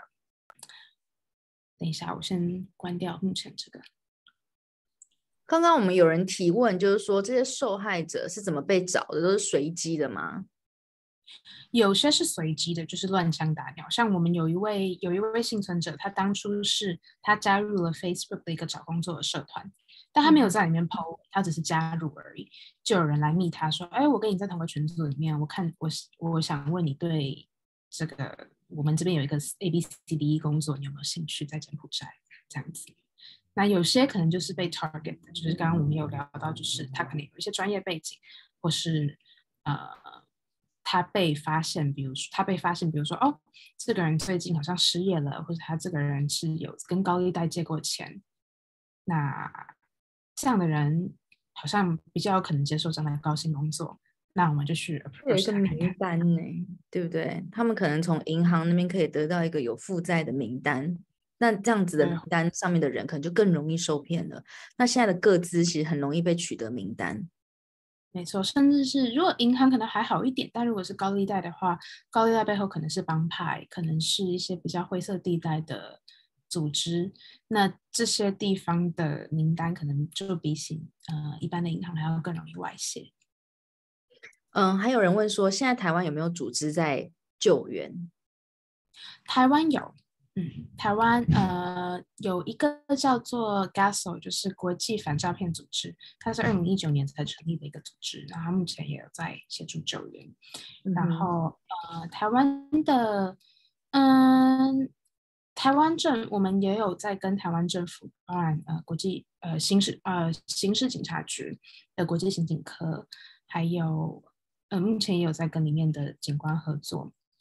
那也有听说，台湾内政部最近有在动作，要去跟呃柬埔寨的政府可能进行一些合作或者谈判，然后把一些台湾人接出来。对，但这些目前这一点我们也不知道，非就还没有到很明确的一个时间轴，或是这个救援行动会长什么样子。所以，像现在就你所知道这些目前已经现有的救援行动，它是不是由各个国家、不同国家的组织一起一起来合作？嗯，比较多还是民间的组织吗？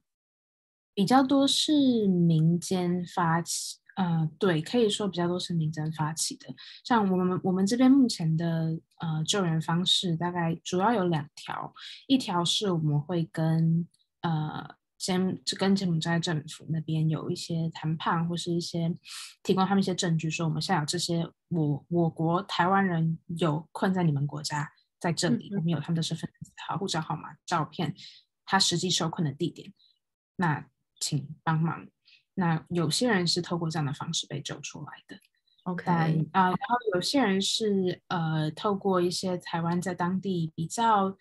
有可能有影响力的台商，或是一些比较不太方便透露名字跟背景的一些有利人士，他们会去协助谈判这样子。嗯，那也是用这些方式把人救出来。嗯，那还有一个另外，嗯，啊，请说，你先说，你先说完。OK，呃，但这可能比较不是救援，就是呃，如果比如说你是一个受害者，你被困在里面，然后你想要逃出来的话，还有一个方式是，这个方式不一定真的有用，就是要看公司的状态，但有些时候是可以用赔付这个方法离开。赔付是赔是呃赔偿的赔，付是支付那个付。那所谓的赔付就是呢，你去你直接跟你的。人设集团摊牌说我不干了，我要回台湾，你开一个价钱给我。那很多时候这些人设集团他们就会把当初把这个受害者，比如说我花了两万美金买你，对，所以你还我两万美金，再加上你在在我这边住了一个月，每天多少食宿费，然后还有一些非常非常莫名其妙的呃名义，比如说什么键你你你使用工作那个键盘使用费，键盘使用费。之类的，对，想更有更多详细，也欢迎大家，大家可以去看一下我们公司的这个。我等下快结束的时候再把可以把链接，对对对，等下再把链接分享给我。对，就是就是得帮自己赎身啦，帮自己赎身的意思。对，帮自己赎身，但这个赎身的价钱，他们就会尽可能从这个受害者身上挖钱。你呼吸空，就是还有一个什么空气费，空气费。对，就是你看我们这种建筑里面，对。然后，这其实就是非常符合人口贩运跟所谓的强迫劳动。我们等一下，我们我们等下下一个主题要来谈这个。那我们现在先还有一个跟针对这个呃柬埔寨的事件有一个问题，就是听说你不说警方的设备跟技术比不上诈骗集团，是真的吗？警方的设备跟技术，这我们就可以看一下。如果是呃哪一种设备，如果是武器类。就真的是枪械的话，这个我就很难讲，因为我相信其实警警就是正常的警察、警官、警方、军方其实都应该有一定的呃武器的强度。那至于黑帮帮派人设集团，他们也当然有一定的武器跟非凡的对。那嗯，刚网络网这边刚刚有那个一下，可以在。最后面两句话可能要再一次，呃，就是在帮派人设集团这边，他们当然也会持有一些非法的枪械，然后电击棒，然后也会有武器。对，那就想问一下，这个人他指的是设备是指？什么呢？就是如果如果你还有更明确你指的设备是什么，就可以也可以放在留言里面，嗯，可以再对。汉永怡，你说的是说这个警方要救，比较救救出这些人质的设备，还是说他们诈骗的设备？如果说是警方呃救人救救人质的设备的话，这个会扯到另外一个问题，就是其实很多时候柬埔寨警方是非常。他们甚至不不一定会真的去愿意救人，因为呃，柬埔寨官方跟警方其实是蛮蛮腐败的一个状态，所以他们甚至很多跟这些人集团都是有金钱上的交易，所以甚至也不用动用到武器，就人设集团钱付了，警察就不管了，就好，我就睁一只眼闭一只眼。嗯哼，嗯哼，那他他可能是说科技设备啦，包含诈骗这些的。嗯，如果是以软体或是硬体设备来的话，我觉得可能差不多。但是就是大家有的电脑，大家可以用到的，呃，可以可以 access 的网站，其实是差不多。但是形式，然后跟诈骗的内容，我我我必须说，可能是道高一尺，魔高一丈。因为像前面讲到，他们有这么多新的诈骗手法，就警警方跟官方怎么做事，就是有有新的诈骗受害者，我们针对这个方式去打击，去看说怎么样停止，怎么样把这些人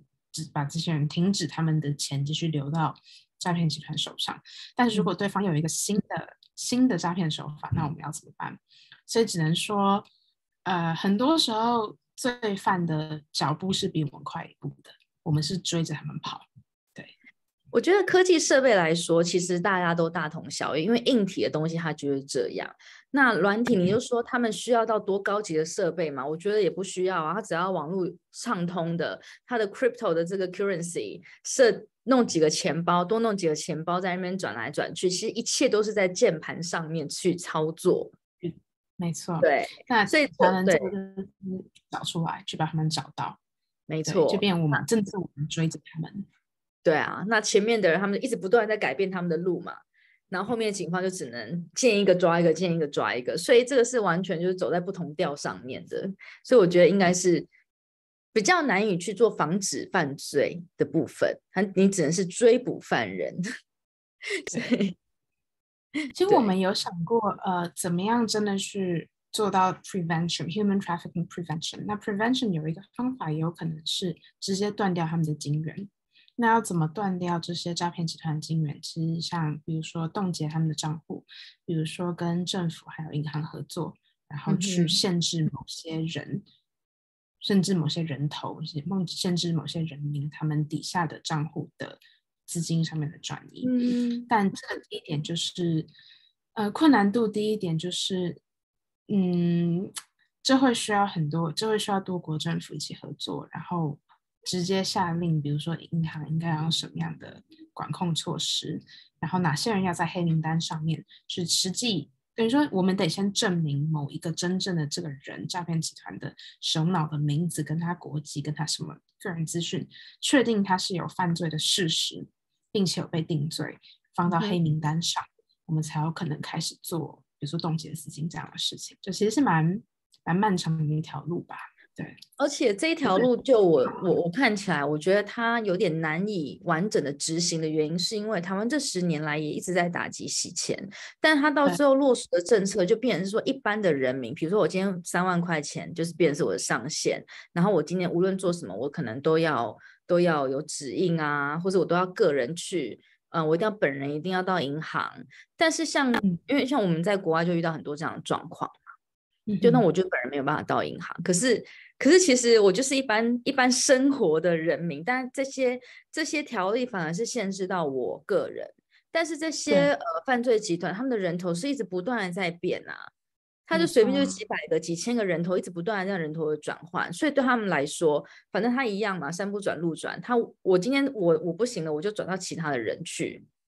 没错，就是黑名单是永远列不完的，而且这是在不同国籍、在不同国家、不同国籍，或是他们把他们的账户放在哪里，空壳公司放在哪里，比较可以容易避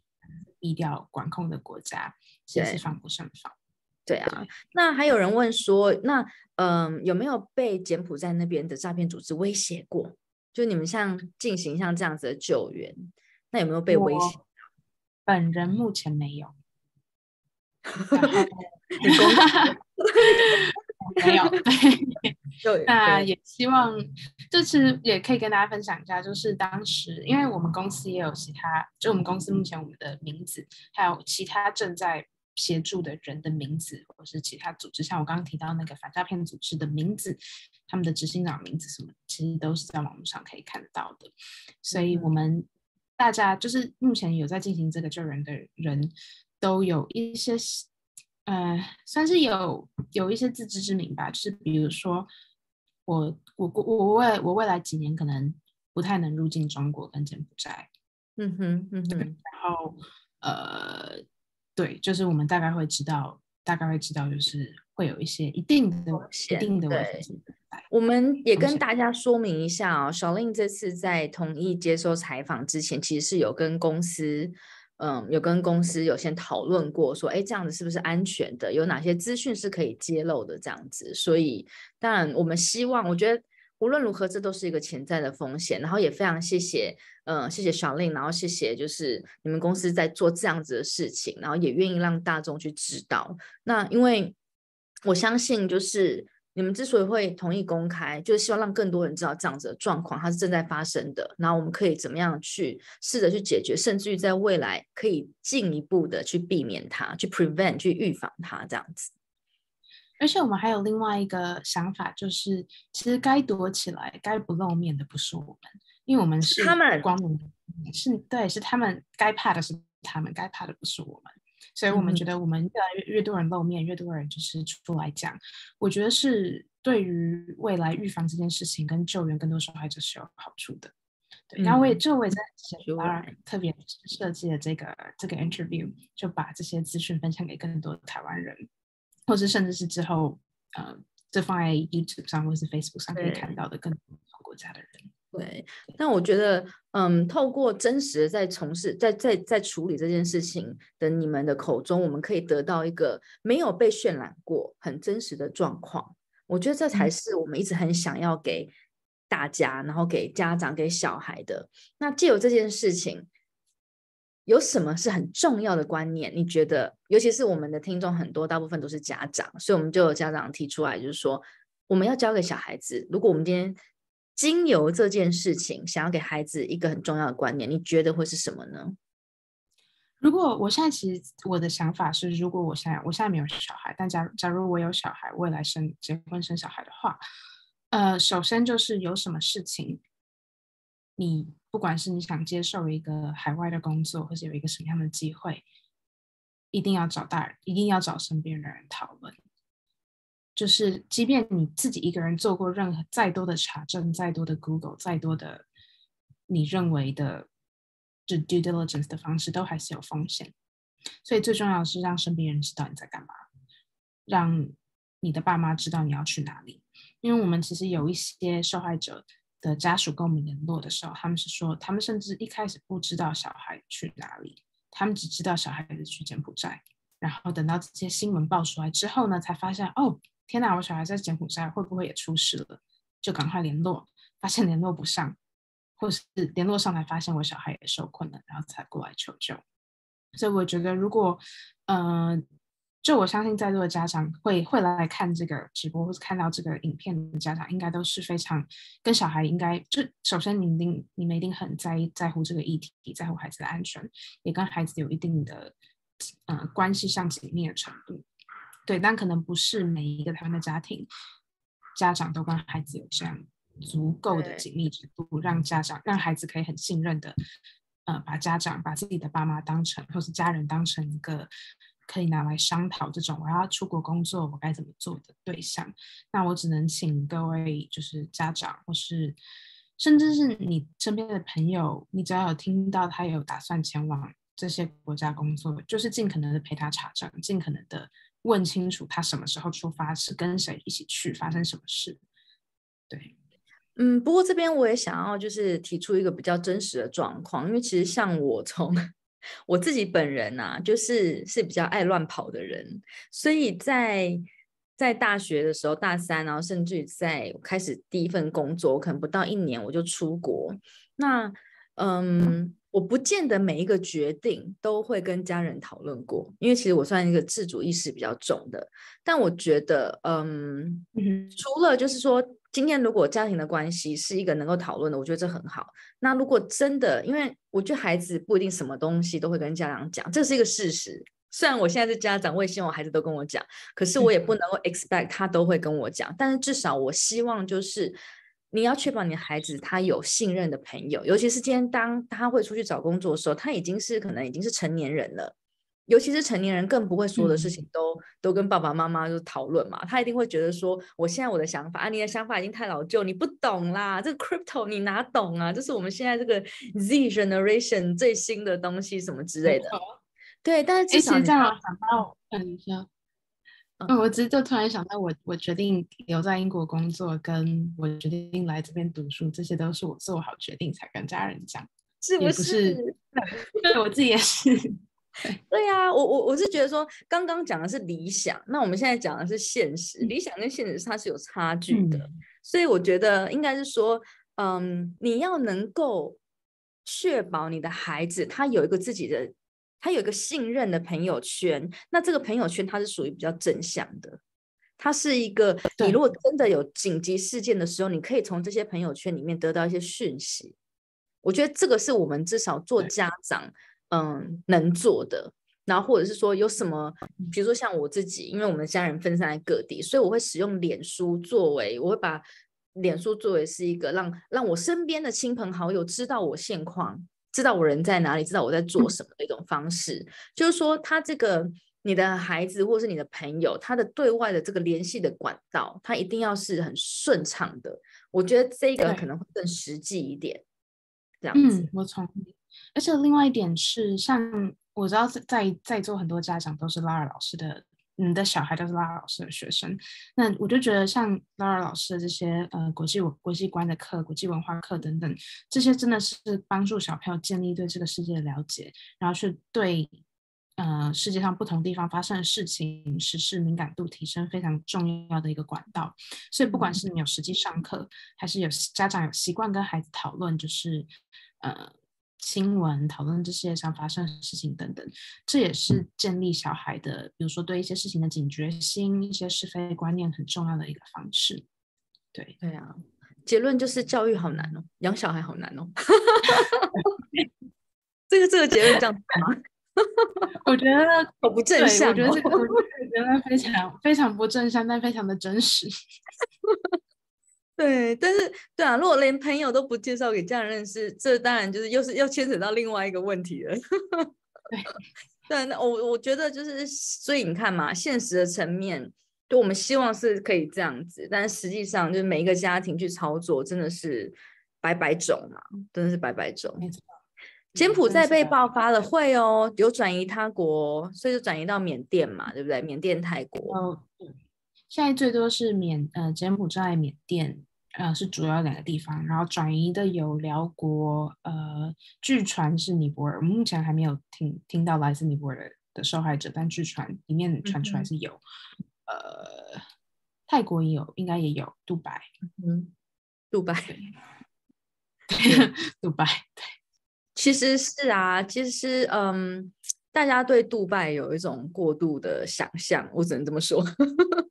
他有他很，他有他这个很资本主义的一面，非常的资本的社会，但是他真的是接收了。当你你你可以完全想象到，在一个这个小小，它人口不过有几百万人吧的城市里面，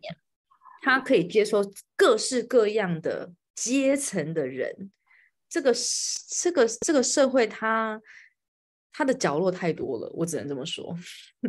而且另外一点是，我觉得柬埔寨，呃，不是杜拜，它有它的繁华，包含我们最常在台湾看到的，就是它的，呃，很帆船，哎，是帆船饭店吗？对，帆船六星级的帆船饭店，嗯哼。然后还有非常非常，好像是全世界数一数二大的购物中心，然后多漂亮，等等等。就在我们家旁边，每天去。他其实对他其实很多是建立在很多不同国家的移工，然后他们去嗯透付出他们的血汗，然后去盖起来的。然后在我有看那纪录片，对，然后在 operate 这些设施，其实也是一定有它的剥削的部分存在。对啊，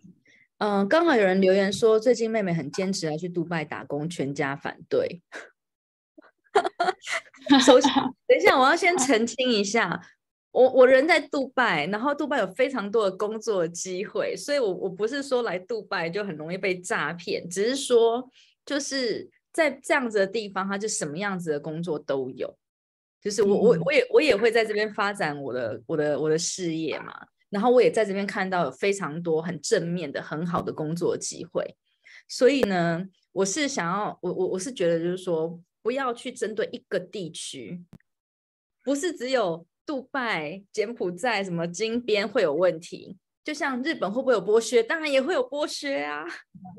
日本会不会有这种人口贩卖？我相信一定有啊，要不然怎么会有那个？这个这个部分，就是我也可以在接下来我们讨论到人口贩运的时候，多分享几个在我们。一般台湾人一想到想到的就是先进国家，比如说美国、日本、英国，也有很大量的呃人口贩运跟诈骗的事情在发生。对，那我们今天的第一个第一个大的 part 就是关于柬埔寨，就先暂时到这边。接下来呢，我们这样子光柬埔寨就谈了一个半小时，真的太多内容可以说了。接下来呢，哦，我想我们刚好 podcast 也会进入到了下集。好。对我们接下来要跟大家来讨论，就是人口贩运啊，经由柬埔寨的这个诈骗事件呢，延伸出来了这个人口贩运的非常非常大的议题，它的英文呢叫做 trafficking in persons。那这边想要请小令来跟我们很简单的给我们一个概念跟定义，到底什么是人口贩运？呃，我从两个方式、两个地方来讲。就人口贩运呢，我先讲它到底是什么。所以人口贩运它其实是所谓现代奴役 （modern slavery） 底下的一种。那什么是 modern slavery？modern slavery 现代奴役底下就包含强迫劳动、人口贩运、呃童工、强迫婚姻等等。所以人口贩运它就是 modern slavery 一种。那我们接下来从呃国际上的标准跟公约来看，什么是人口贩运？那人口贩运呢，它呃，在国际上面讲人口贩运最重要的一部国际法就是《Palermo》呃，《Palermo》呃，我忘记全名哦，《Palermo Protocol》就是帕勒莫议定书。那这个《Palermo 议定书》是在补充联合国的打击呃跨国有组织犯罪公约的一个呃的一个议定书。那这个议定书里面呢，就很明确的定义了。呃，什么叫做人口贩运？所以一个行为要符合人口贩运，必须要以下符合这三个主要的条件。就第一个是以剥削为目的，第二个是以不当的手段，然后去第三个是去符合前面两个条件，条以不当手段、以剥削为目的去对一个人进行招募、聘雇、呃窝藏、运送等等。那这个就是叫做人口贩运。对，那这是大概就是人口贩运的大概的定义。那如果说大家想要一个更清楚明了的，可能说例子或是故事的话，我也可以分享几个在不同国家的案例，让大家更了解说什么是人口贩运。好的，那我举我举一个在英国的例子好了，就在英国其实有蛮多来自呃罗马尼亚、阿尔巴尼亚、波兰等等，嗯，在欧洲相对来说可能人均收入没有那么高的国家的年轻女生。那这些年轻女生呢，她们很多都怀着要过来西欧、过来英国，然后工作的这个梦想，希望可以赚更多钱，然后改善家里的。呃，经济条件、经济水平，所以我举，比如说以乌克兰为例好了，在乌克兰，如果你一个月可以赚三四百美金，就已经算是还不错、蛮中上的薪水了。那可是如果在英国的话，那你一个月三四百美金，可能。就英国的薪水，英国平均的月薪可能远远超出三四百美金的两三倍不止，所以这些在东欧的女生，她们可能觉得，呃，东欧的年轻人可能觉得，我来到了英国，我可以工作改善这个环境。那我们可以想象，有一位人口贩子，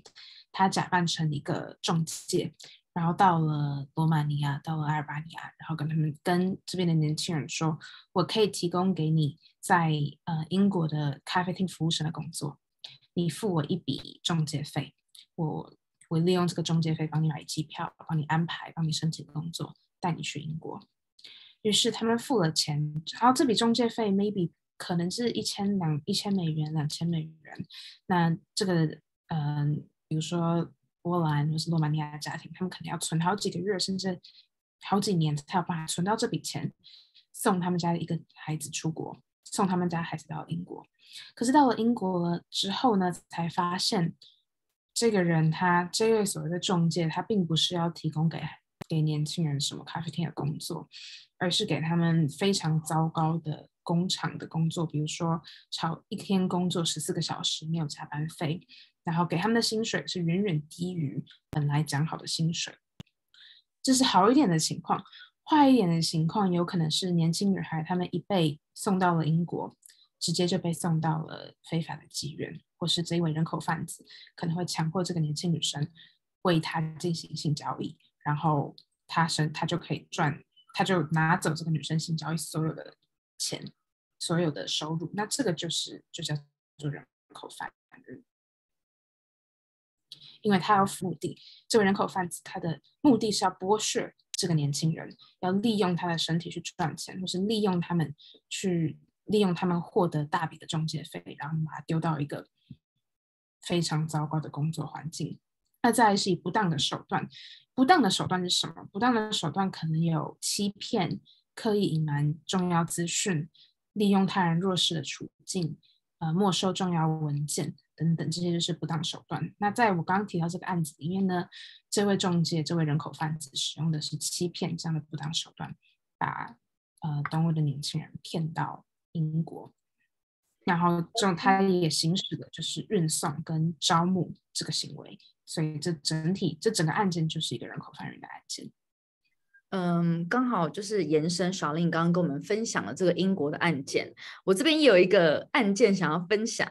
我们刚刚说到一开始的柬埔寨，包含柬埔寨、辽国，这在我们的印象里面，它还是一个呃属于为比较发展中国家嘛，好像就是属于这个收入比较低的啊，跟台湾相对比起来，相对落后的国家。那刚刚呢，小令跟我们讲的例子呢，是在英国，那这是在我们的印象里面，嗯，可能平均收入会比台湾更高，然后它是已经已开发的国家，那。我来举一个例子，就在今年的年初呢，在台湾也被爆出了一个 很大的这种，我想也是属于的人口贩运。他我我觉得我刚刚看了一下那个定义，它也符合哦。从很多的乌干达来的学生，他们当时候在乌干达被招募，就是来台湾的，叫做什么中州科技大学。我其实还真的没有听过这所大学。然后他们就是说，哎，你们来台湾念书，然后可以在这边呢用英文学习，然后尤其是现在，你看你又一带一路啊，你这个世界经济发展，所以你要学中文啊，这样子对你的未来一定会很有出路嘛。好，那然后就说，如果你在我们这边毕业，甚至于你在求学的过程当中，我还可以帮你安排相关的实习的工作机会。好，所以呢，他们当时候呢，就是浩浩荡荡的到那边去招生。我看了一下报道，就是说招生的状况来了好几，大概三百个年轻人吧，哦，那非常的踊跃。然后到最后呢，连我们的代表处呢都面试都还来不及了，这样子。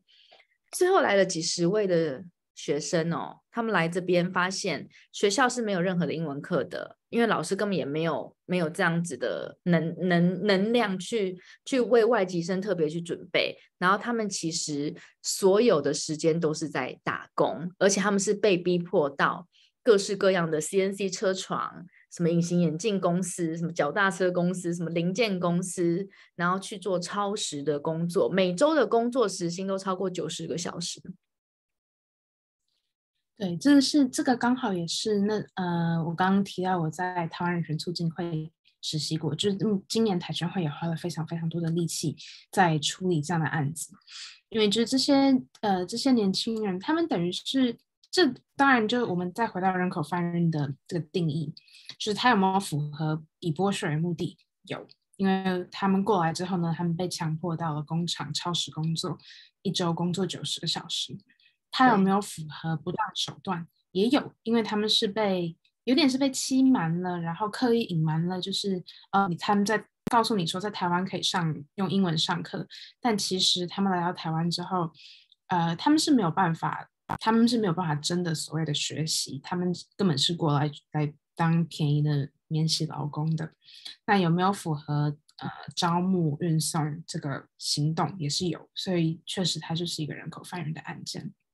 对，所以在嗯，我想再回应一下刚刚的问题哦，就是说在到底我们现在去哪一个国家安全呢？没有一个没有一个地方好像是一个绝对安全的，连我们觉得哎，台湾应该 OK 吧？所以我们刚刚讲了嘛，对不对？发展中国家、已开发国家，甚至于就是未未完全 发展的国家，你到处它都是有可能这个陷阱，完全就是在于你是在哪一个圈子里面。没错，对，就在在各国都有合法工作，但是也都有危险的工作。是的，是的。那我也再跟大家分享一下，就是呃，在日本也有一个也有这样的案子。嗯，我等一下如果找到链接，那本书的链接，我可以分享到呃 Facebook 上面，就是分享到我们的留言处。但就是呃，在日本也长期以来一直有发生像这样今年爆出来台湾乌干达的案子。就日本他们招募了大，因为日本现在的外籍呃蓝领外籍移工的数量是不太足够的。所以他们就招募了大量大大量的越南学生，跟你说，你过来日本上日本的语言学校学日文，你毕业之后呢，你就可以拿到 certificate，并且拿到几年的工作签证。结果他们过来了之后呢，才发现这些越南学生他们每个月要付很大量的宿舍费，他们的语言学校的嗯环境跟教育水平就是非常参差不齐，而且他们。如果想他们在日本，他们要生活，他们要支付他们的宿舍费，他们要支付他们的这个语言学校的学费，他们每天都必须要在工厂工作至少七八个小时。那就想想看，你一天工作七八个小时，你怎么可能还有力气去学日文？怎么可能还有力气去上学？那就是用这种方式去剥削这些越南学生。那这些越南学生他们是怎么被招募过来的？有有一部分也是日本的一些黑心。黑心中介，他们到越南去招生，然后告诉他们说：“你们付多少学费，先预付多少学费，预付多少中介费，我们就帮你们把孩子带到日本。他们在日本肯定有光明的未来。最后拿到 certificate，工作几年就可以拿到日本的永永久居留证，甚至有可能把整个家庭从越南接到日本，或是可以回馈给这个家庭等等。所以类似的事情在越在日本也是有发生的。”哎，我觉得小令，我们这样子分享，会不会大家以后都不敢出国啦？我们没有 想要任何，我们两个人都是在国外的人，我们不想要让大家就是有点这叫什么，太过戒慎恐惧，就感觉啊，只要讲到要出国，是不是就好恐怖？我们，我我觉得也不能够，这个要什么成语？忽然忘记了。呃，因噎废食。哦，对对对，因噎废食是是。对，就我相信正正常的管道还是有非常多，然后当然就是判断的能力，然后还有就是，我不知道，我觉得现在很难，就是说我可以哦，我可以就怎么样，我就可以一定可以判断它是对的还是错的，它是真的还是假的。现在应该没有任何一件事情可以这么简单的去一分为二，所有东西都要用全面的方式 去去去去判判断它，这样因噎废食。谢谢。我刚刚也把那个那我刚刚提到的这个日本的 case，然后他有被一位呃日本的呃那个叫记者写成书，然后把它放在留言处，大家可以看。嗯嗯嗯嗯，我觉得我们下一次一定要讲一些光明面这样子，要不然把大家都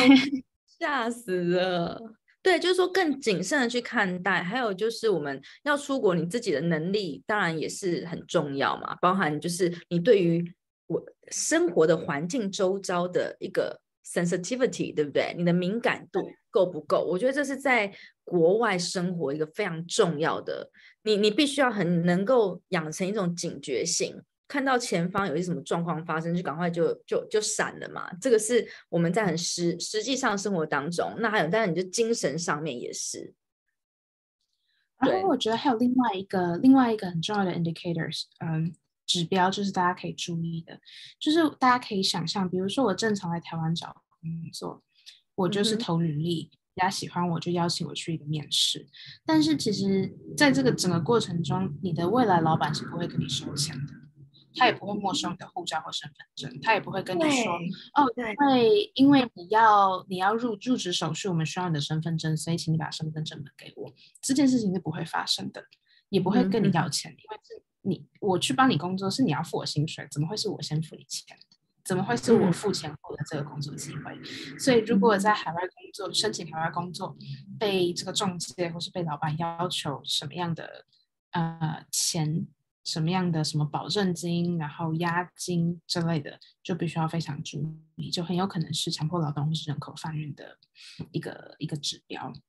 嗯，我觉得这真的是讲到重点。如果你的小孩不愿意跟你讲太多，那你至少跟他讲一件事：你的护照跟身份证永远不要交给别人。如果有人要求你的话，那真的就是很有问题，请你就是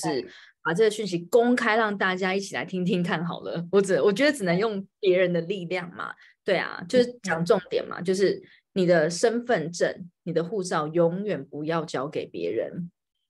然后第二个呢，第二个就是如果你需要付押金，你需要先付一笔钱，那当然就是很奇怪了嘛。对对，好，但是我我觉得对我来说最最关键的应该就是你的身份，因为你的身份就是你的 ID 啊，就你这个人的你这个人所有的一切，你没有那 ID，你真的是在哪里都不行的。没错，而且像我们在柬埔寨很多受害者，他们就是护照被没收，他们逃出来之后，他们是没有护照。那在柬埔寨也没有台湾的大使馆，或是台湾的呃文化外交呃经济办事处，所以他们要赶快补办护照，或是补办呃一些临时的文件，其实也是是做得到，但就是会比较麻烦一点点。你知道在台湾的义工啊？嗯，比如说就是家庭帮佣啊之类的，他们的护照也都是被中介没收。确实，对，所以这就是对，无论是渔工或是移工，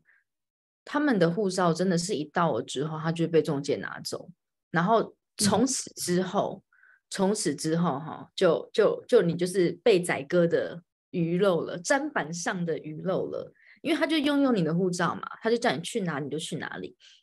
然后，当然，今天今天今天知道说我们会离题太多，所以今天就先不谈不谈那个台湾的移工 跟渔工的问题。但是这个部分在台湾，其实我真的觉得来台湾的外籍呃外籍劳工真的是被蛮严重的剥削的。嗯，就我可以跟大家分享一下，呃。我找一下，就是呃，联合国底下的国际劳工组织，他们有分享了一个十一十一项强迫劳动的指标。那我觉得这十一项强迫劳动的指标，就是不管是大家未来你们本人，或是你的孩子，或是讲到外籍义工等等，他们这些人，哎，小令的网络，因为小令在英国。英国的，其实，在欧洲的网络呢都没有在台湾稳。大家相信我，台湾的网络环境真的是很好。我们等 Shaolin 回来一下。对，哦，柬柬柬埔寨这次是先利诱离开台湾后，对啊，所以这个这个就是，所以就说这次柬埔寨他们的诈骗真的是很高端，有没有？你都已经整个他刚刚小冷有分享到给我们一个嘛，他先养公司养半年的员工，哎，然后再说我带你去员工旅游，一整行二十人，整个上飞机全部被卖掉，所以遇到这种事情也是有可能会发生的，这。很难说啦，就是防不胜防。但是我觉得，嗯，至少有一个好，不是说好处，我们往不要往那么悲观的方向去想哦。这样子的事件，它毕竟还是少数哦，所以请大家就是也不要太太过悲观或者太过紧张这样子。哎，小令回来了，欢迎。感谢，不好意思，我刚刚的网络断掉。没事，我来跟大家分享一下。哎，刚 Lara 讲到哪里？哦，没事，我刚刚就是在讲一下前面的，你可以继续。OK，OK，好，那就是这边跟大家分享一下，就是 L 呃联合国国际劳工组织他们分享的十一项强迫劳动的指标。所以，如果未来你们自己或你们的小孩在工作在海外工作上面遇到这些问题，就可能要注意，有可能是有人口贩运或是强迫劳动的事情在发生。那其中呃很常见就是严重的超时工作。然后 debt bondage 指的是债务，比如说他们告诉你你要来我们这边工作，你必须先跟我们借一笔钱，或是我们要先帮你，我们会先帮你付一笔训练费或者什么入职费，或是呃什么工具制服费，那你就先欠着我们这笔钱，之后从你薪水里面扣，这个可能也是一个强迫劳动的指标。那再来是糟糟糕的工作跟呃生活环境，那这一点呃。这边就是，如果他没收你的个人文件，包含护照、身份证等、出生证明等等，或是他们压着你的薪水，说我们前三个月不付薪水，你得先跟帮我们工作满三个月，我们才会一次把三个月的薪水付给你。那这个也是违法的，而且也是很蛮危险的。然后，如果你有被你的公司刻意的孤立，比如说他们把你放在一个你他们不让不太让你跟外界联系。甚至是限制你的人身自由，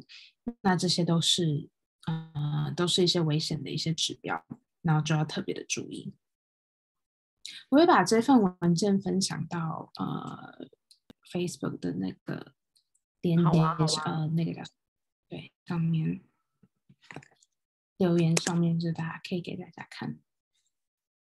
其实我觉得就是让大家在平常当中，就是增加这些所谓相关的一些意识或者尝试，那在判断一些工作机会的时候就会比较好一点。那如果说，嗯，我觉得有一点我想要跟大家也趁着这个机会哦，跟大家分享的就是说，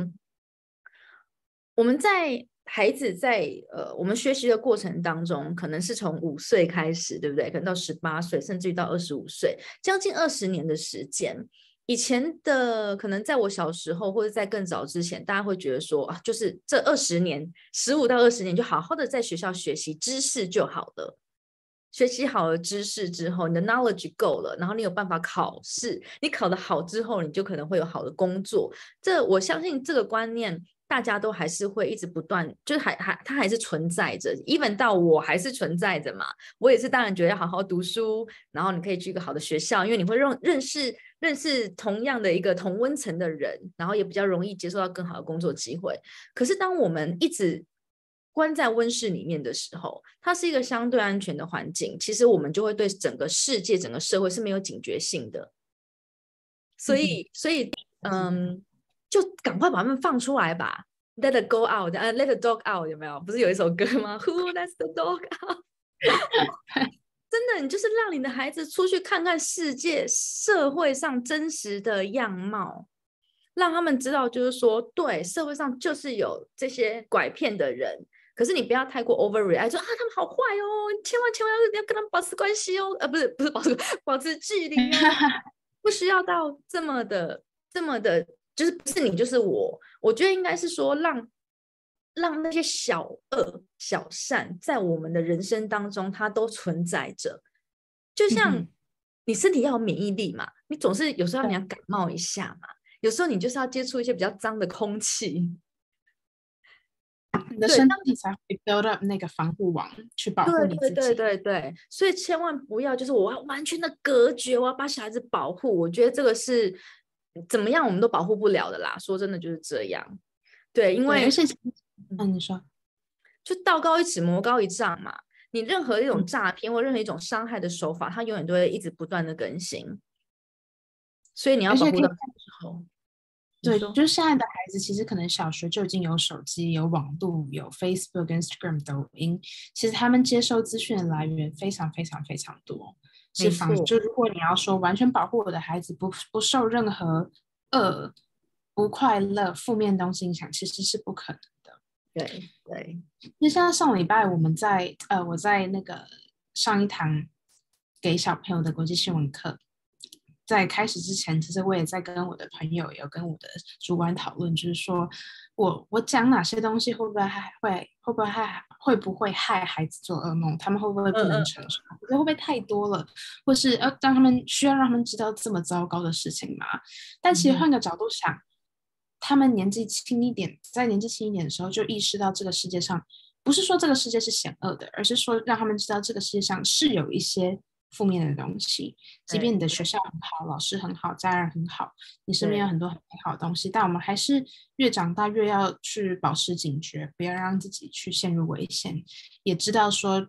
在身边人遇到哪些事情，你看到什么，你要去报警，你要去注意，你要去跟老师讲，说我好像有朋友快要被骗走了，等等的。嗯哼，嗯哼。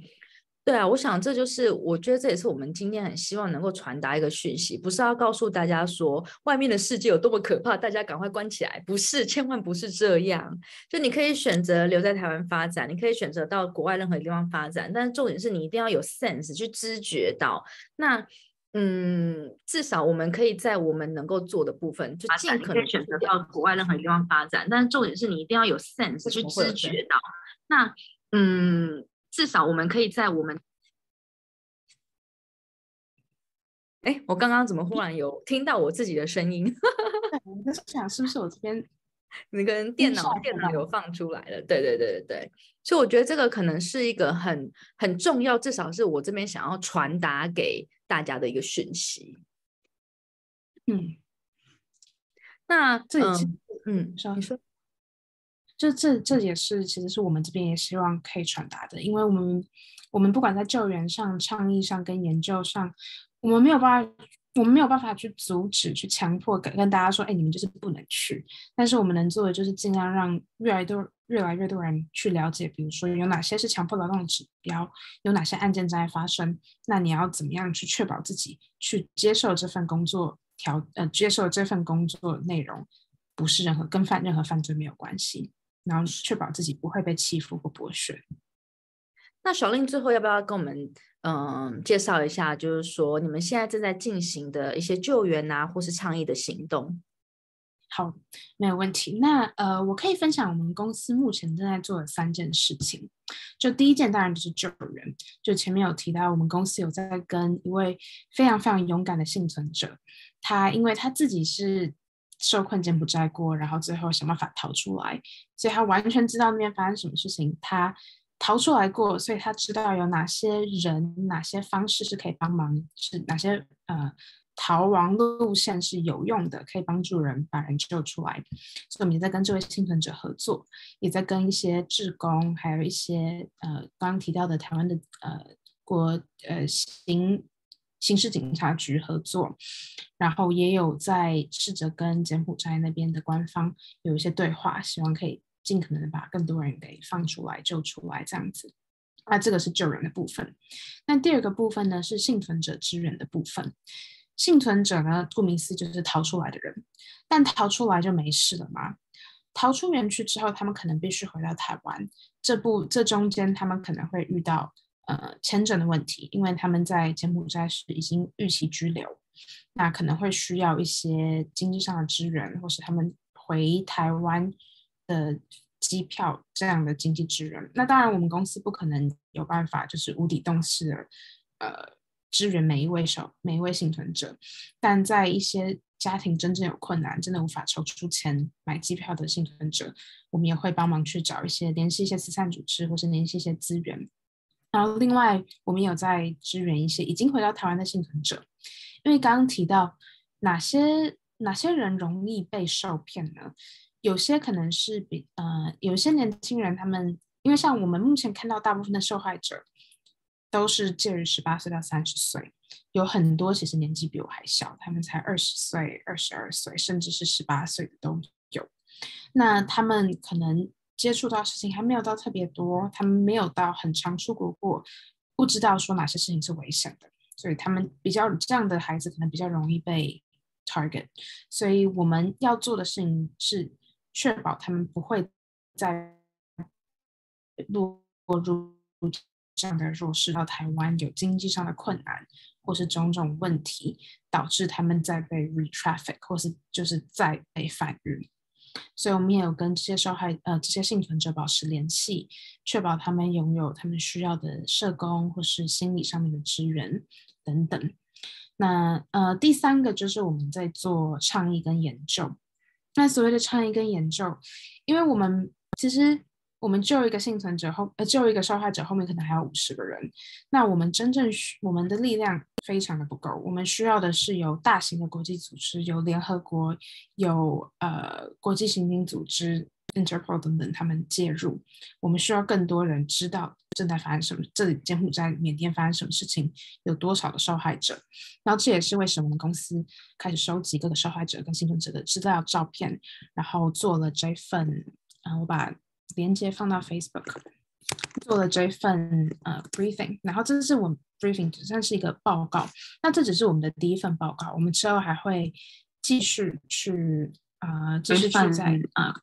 继续去生产、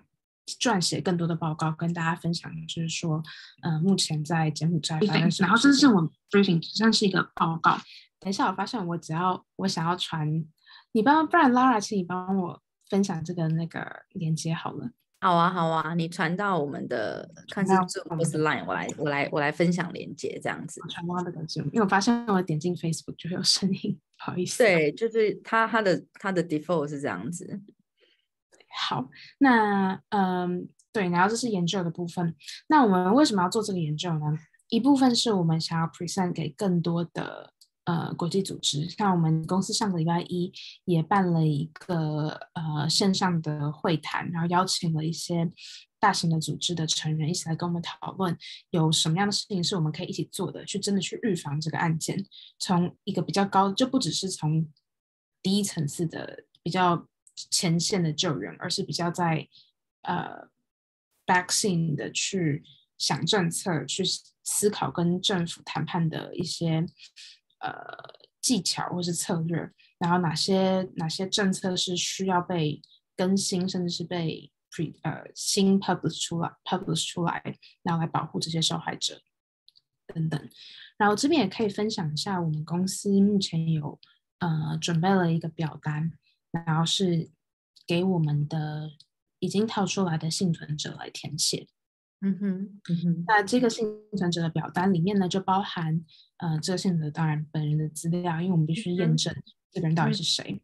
然后我们想要知道你他是在哪里被贩运，他实际被贩运的国家在哪里，他怎么被招募过去的，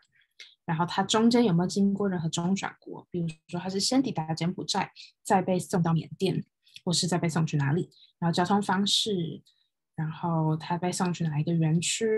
时间，然后怎么被贩运的。以及他在园区里面，你有遇到几位犯罪者、几位受害者？你知不知道他们的国籍？你知不知道，呃，他你被骗去是做什么事情？洗钱是洗到哪一个账户？你的非法金融交易是实际的里呃细节是关于什么？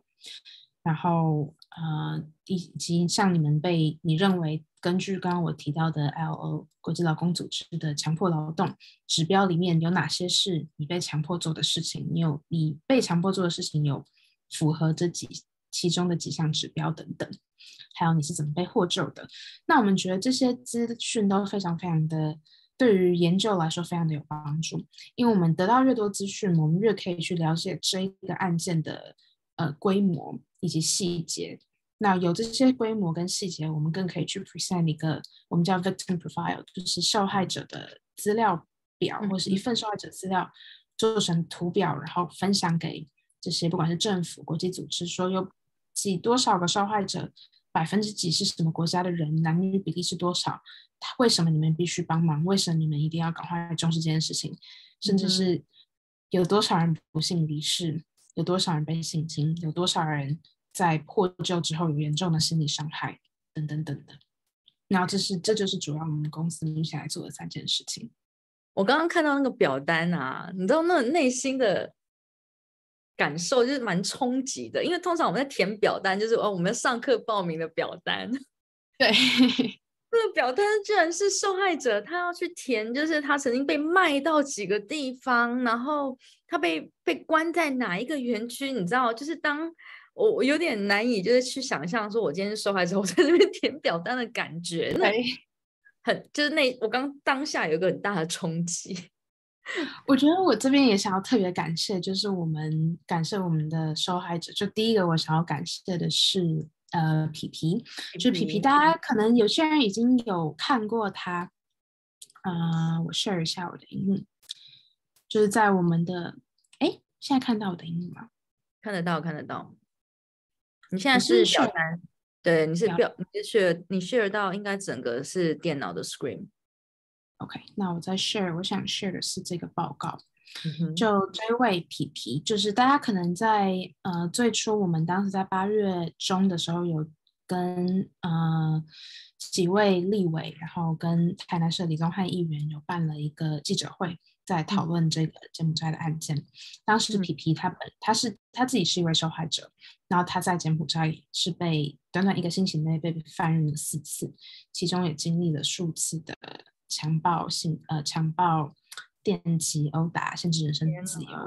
不给不给饭吃，然后只给洗冷水澡这些问题，最后他也是辗转才幸运的逃出来。那他就很勇敢的，他自己也知道，他只要来露面，他用名字出来，他出现在记者会上，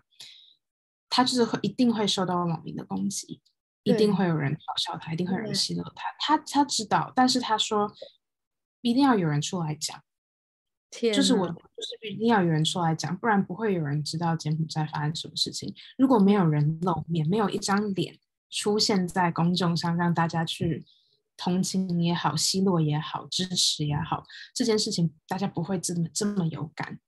对，没错，真的，大家会觉得那只是一个一段文字的叙述而已。没错，所以说他就很勇敢出来分享他自己的故事，所以我们这边也非常非常的感谢他。然后另外还有一位叫做王宇堂，他目前也在我们公司，也加入我们公司一起做呃救援的行动。他就是我刚刚提到的，呃有。自己也是被在柬埔寨碰到贩运，然后强迫诈骗，最后他也是幸运逃出来之后，他就用他自己的经验跟人脉等等去解救更多的受害者。他也是很勇敢的，使用他的本名跟他的自己的照片，然后很被智秀在各大媒体，然后包含我们的网站上面。对，然后另外我们还有非常非常多非常勇敢的幸存者，他们在台湾，他们现在有些已经很多已经回到这。非常非常开心，他们已经回到台湾，他们也非常乐意跟大家分享他们的故事。有些当然必须是用匿名的，但他们就是很认真的把他们见到多少人，住在几楼，办公室有多少人，发生什么事情分享给我们，就希望可以支持我们的这个研究，然后让我们这个研究可以更好的呈现给大家看，说柬埔寨的诈骗人群到底发生什么事，到底有多严重，为什么大家要在乎。其实这对他们每一次的回想，它都是一个二次的伤害。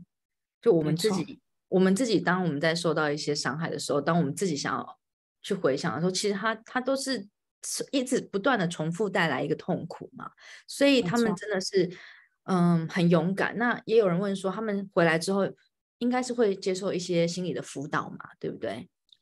嗯，有。对，就是现在我这边也跟大家分享一下，就是在英国有一个叫做英国跟欧盟国家都有一个叫 National Referral Mechanism，那翻成中文是国内转介机制。那这个机制呢，是给人口贩运的受害者，你发现了疑似的受害者的时候呢，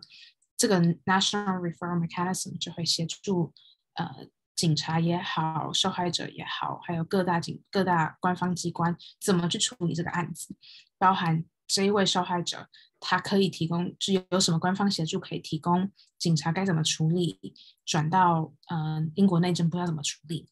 但比较可惜是，台湾目前没有这样的一个转介完整的转介机制。就台湾有人口犯人防治法，台湾有犯罪被害人保呃犯犯罪被害人保护法，这些法都是存在并且有在被实施。但是呃，对于这些人口犯人的受害者来说，并没有真正的落实。然后这个原因一部分是台湾过去很少很少有大量的台湾人在海外被贩运跟剥削的案子发生，所以这对台湾政府来说也是一个很新的状况，他们也不一定知道怎么处理。嗯哼，另外是台湾的整合合作上是比较不足的。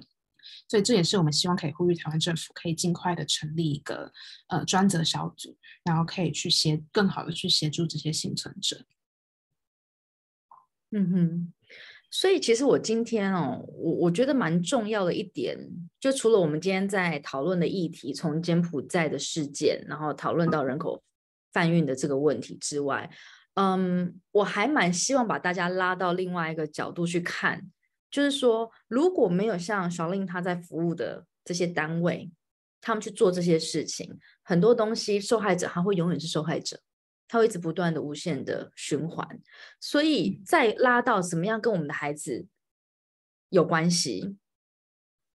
除了就我们要告诉他们说，哦，世界上有哪一些险恶的事情正在发生，然后你可能可以怎么样预防之外，未来其实。我们可以做的工作，我们可以做的事情很多。那这也会跟孩子们的一些直癌的生、直直癌的一些规划。我觉得我们也可以从另外一个角度去思考，就是说，我们到底未来可以要做些什么？除了律师什么，你知道，就是那些什么师啊，或者或者我们现在目前看得到职业之外，像小令现在做的工作，可能是我们。一开始没有想过说啊，原来还有这样职业。我们都知道有人在做这些事情，可是我们没有这么样子的实际跟真实的去看过这个角色在干嘛。我觉得这也是一个蛮好、蛮有趣的点。希望就是大家哎，可以去思考一下，也可以跟孩子们去去想一想这些问题。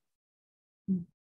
就我通常我在跟我的朋友聊到我的工作，大家的可能第一个反应就是哦，所以你是在非营利组织工作，或是哦，所以你是在慈善。机哪一个慈善机构工作？但其实我们公司就是一个呃顾问公司，它是呃就是我们不是 based on 捐款，然后我们也不是一个非盈利非盈利的组织，我们是一个盈利的私人企业。所以像我们这样的企业，但我们做的事情一样是跟人权、跟国际发展有相关的，就我们走的是比较政策面跟研究面等等。那我觉得不管是前线组织。或是你去当社工，或者是你来做比较后端的研究政策面，或者是你不走这一行，但是你用你自己的力量，比如说你捐款，比如说你在 Facebook 上面分享类似的新闻，或是分享类似的，比如说分享今天的这个直播等等，这些都是可以让更多人看到这个问题，并且去促进，去甚至是拯救更多的受害者，然后建立一个更。对幸存者更平等、更友善、更 open 的社会的一个方式，所以我觉得有非常非常多的方式，甚至是你，你只要去理解，你去听别人讲这个故事，你让你自己被 inform，你让你自己知道发生什么事，这也是一个帮助。嗯，没错，而且就像你刚刚提到的，大家会觉得你们是可能是一个 NGO，可是其实并不是，而你们服务的对象其实就是政府，是不是世界的政府？对政府或者是大型的大型的组织，比如说我们目前也有在跟 Oxfam 就是乐施会，或是几个呃，比如说 Plan International、Windrock International，然后呃，对，就跟他们合作一些。研究的计划，那这些研究计划的钱跟 funder 就是来自于可能是 USA，就是美国国家呃美国国际发展署，或是英国国际发展署，或是欧盟底下计划等等。所以虽然说我们工作可能不会直接一写完报告直接改变一个政策，但是我们做的我们这样的工作就是可以间接的去影响到未来一个国家政府，或是欧盟，或是嗯一个某一个大组织它怎么去。倡议他怎么去拿一个政策的草案出来，给政提供给政府意见这样子。嗯嗯嗯，所以真的很很重要。这个角色呢，我觉得各行各业它都很重要，但是有太多的行业是没有被被认识或被知道的。对对啊，今天也是觉得很棒，可以借着这个机会，让更多的人知道说，哦，原来有这一群人，他可能不是政府组织，他也不是所谓的 NGO，可是他们虽然是盈利盈利的单位，就是一般的正常的公司，可是他们在推动的却是就是事关于整个世界、整个社会的福祉，让整个人权的进展，所以非常棒。哦，那我要特别强调一点，就是我刚刚提到的救援行动这部分，我们是完全没有收费的。对，就为了避免就是 confuse 大家啊，对，就是方面是呃，不管是我们还是我们合作的幸存者、合作的单位，他们都是没有收费的。就大家就是尽可能的去把人救出来为首要目标。应该说，你们收费的对象是在你们做出了这些研究报告之后，把这些研究报告，比如说你要提供给一个政府或一个很大的企业组织，这个部分才是收费的。没错，或者是他们请我们做，那当然就是开一个合约，或是开一个 project 给我们，我们去帮他们做。但是针对这种前线的救援啦、前线的支援这些，我们是完全不收费的。跟我们合作的其实也都是不收费的，就不只是我们。了解。那最后一个问题，有人好奇，除了台湾，还有哪一个国家 人民最多被诈骗？这个台湾还有哪个国家？意思是，呃，这句话的这个问题意思是说，哪一个国家有最多台湾人被诈骗吗？应该是说哪一个国家最容易被骗？哪一个国家最容易被骗？我觉得这个应该没有答案吧。嗯，你说台湾人最容易被骗去哪个国家吗？没有，我看起来那个题目应该是说哪一个国哪一个国家的人民也最容易被骗。哦哦，我懂了啊。对，我觉得这个可能没有答案，就各国都很多人被骗。哦，我呃，我可以换一个方式去回答这个问题，就是哪一种人最容易被骗？我会说 vul 呃 vulnerable 的人，就是翻成中文弱势。弱势这个词很。很精准，就是 vulnerable 是弱的状况，嗯哼，需要呃需要协助的，或是弱的，或是比较嗯，在权力不平等之下，你是在不平等的下面那那个部分嗯的人，这些人是有需求，对，因为他们需求很容易被利用，对他们可能有经济需求，他们可能有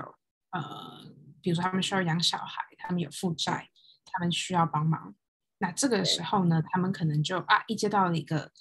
感觉可以赚钱的工作，他们就赶快接。他们可能比较没有那个时间跟心力去想，我有多少可能被诈骗，因为或者是他没有选择，他没有选择的时候，他没有选择。对对对，弱势、权力不平等的，然后比较没有选择的人，还有我觉得有一个很重要，就是资讯不公开的地方。没错。就资讯不平等，这也是一个资讯不平等状况。对，就是我知道的，我身为一个老板，我知道的东西比你知道的还要多。嗯，或是我身为一个中介，我知道你去了之后会怎么被剥削，但是我只告诉你，你要做的是清洁工作，或者你要做的是咖啡厅工作。没错，资讯不对等也是一个很重要的一个点。是的，是的，对，所以，我我我觉得资讯如何去取得资讯这部分是好重要哦。无论是对任何一个年龄层，或者是任何一个阶层的人，任何一个国家的人来说，如何取得最多的资讯，嗯，这边也算是一个题外话，就是因为我每次在备课的过程当中，我就会发现中文的资讯是相对很封闭的，嗯。你只要用中文的关键字去查某一个资讯，你大概前面的第三、前面三页，你得到资讯的来源不会超过五个。没错，大家其你可能整整个三页哦，就三十几条、五十几条那个 link，对不对？但基本上他写的东西不会，就是同样的，几乎都是一样的，大概不会超过五种，因为大家都是 copy paste，抄来抄去，它资讯量真的太少。可是同样的东西，你只要换成是英文。我现在不在讲英文多好，是因为英文使用者多，所以它揭露资讯的几率就更大。它资讯对资讯被被审核的几率会更大。所以像我们，嗯，你说，没关系，你说，你说。哦就我只想分享，就像刚刚我们我分享给大家，我们公司出的这个报告，即便它是跟台湾有关系，但是由于我们必须 present 给一些国际组织，或是分享给一些更多的媒体，我们也先把它写成英文。但是我们目前也在把它翻成中文，然后预期大概一个礼拜内可以把中文版就是公开，然后完成公开，也可以再分享给大家。对，到时候再来我们再来更新这个中文版的链接。所以。就是语言呢，它是一个蛮重要的工具啦。我觉得，尤其是现在，我我认为越来越重要。但是语言是要拿来用的，就我们学习它是要拿来用的。而不是就是拿来背的这样子，所以这这个，因为有时候我很害怕我太过于提倡英文的重要性，所以我都不太敢讲，因为我很怕就是到时候就落入大家就是要背单字的那一块。像我，你如果考我单字或文法的话，我应该不会考得很好，但是我可以去运用它，去得到一些资讯，我觉得这是非常重要的一件事。对，好啊，今天哇，更多，那你算一算，没关系，请说。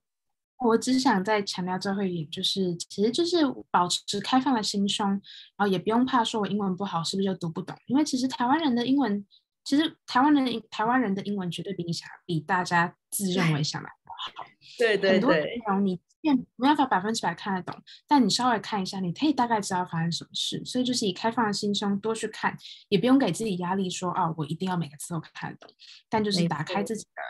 资料来源。嗯，对，而且说真的，说真的，现在 Google Translate 这么容易，你真的很想要知道一个东西，你绝对是可以翻译，至少它不会翻译的非常精准，对不对？但是至少你可以得到一个大意。那当你已经有习惯去开那个英文的资讯网页的时候，这就是一个开始嘛，不用全部自己全部看完嘛，但你要慢慢的去练习这件事情。然后就是家长们温情呼喊，请不要只叫小孩做，自己也要做。Lara 的温情呼喊这样子，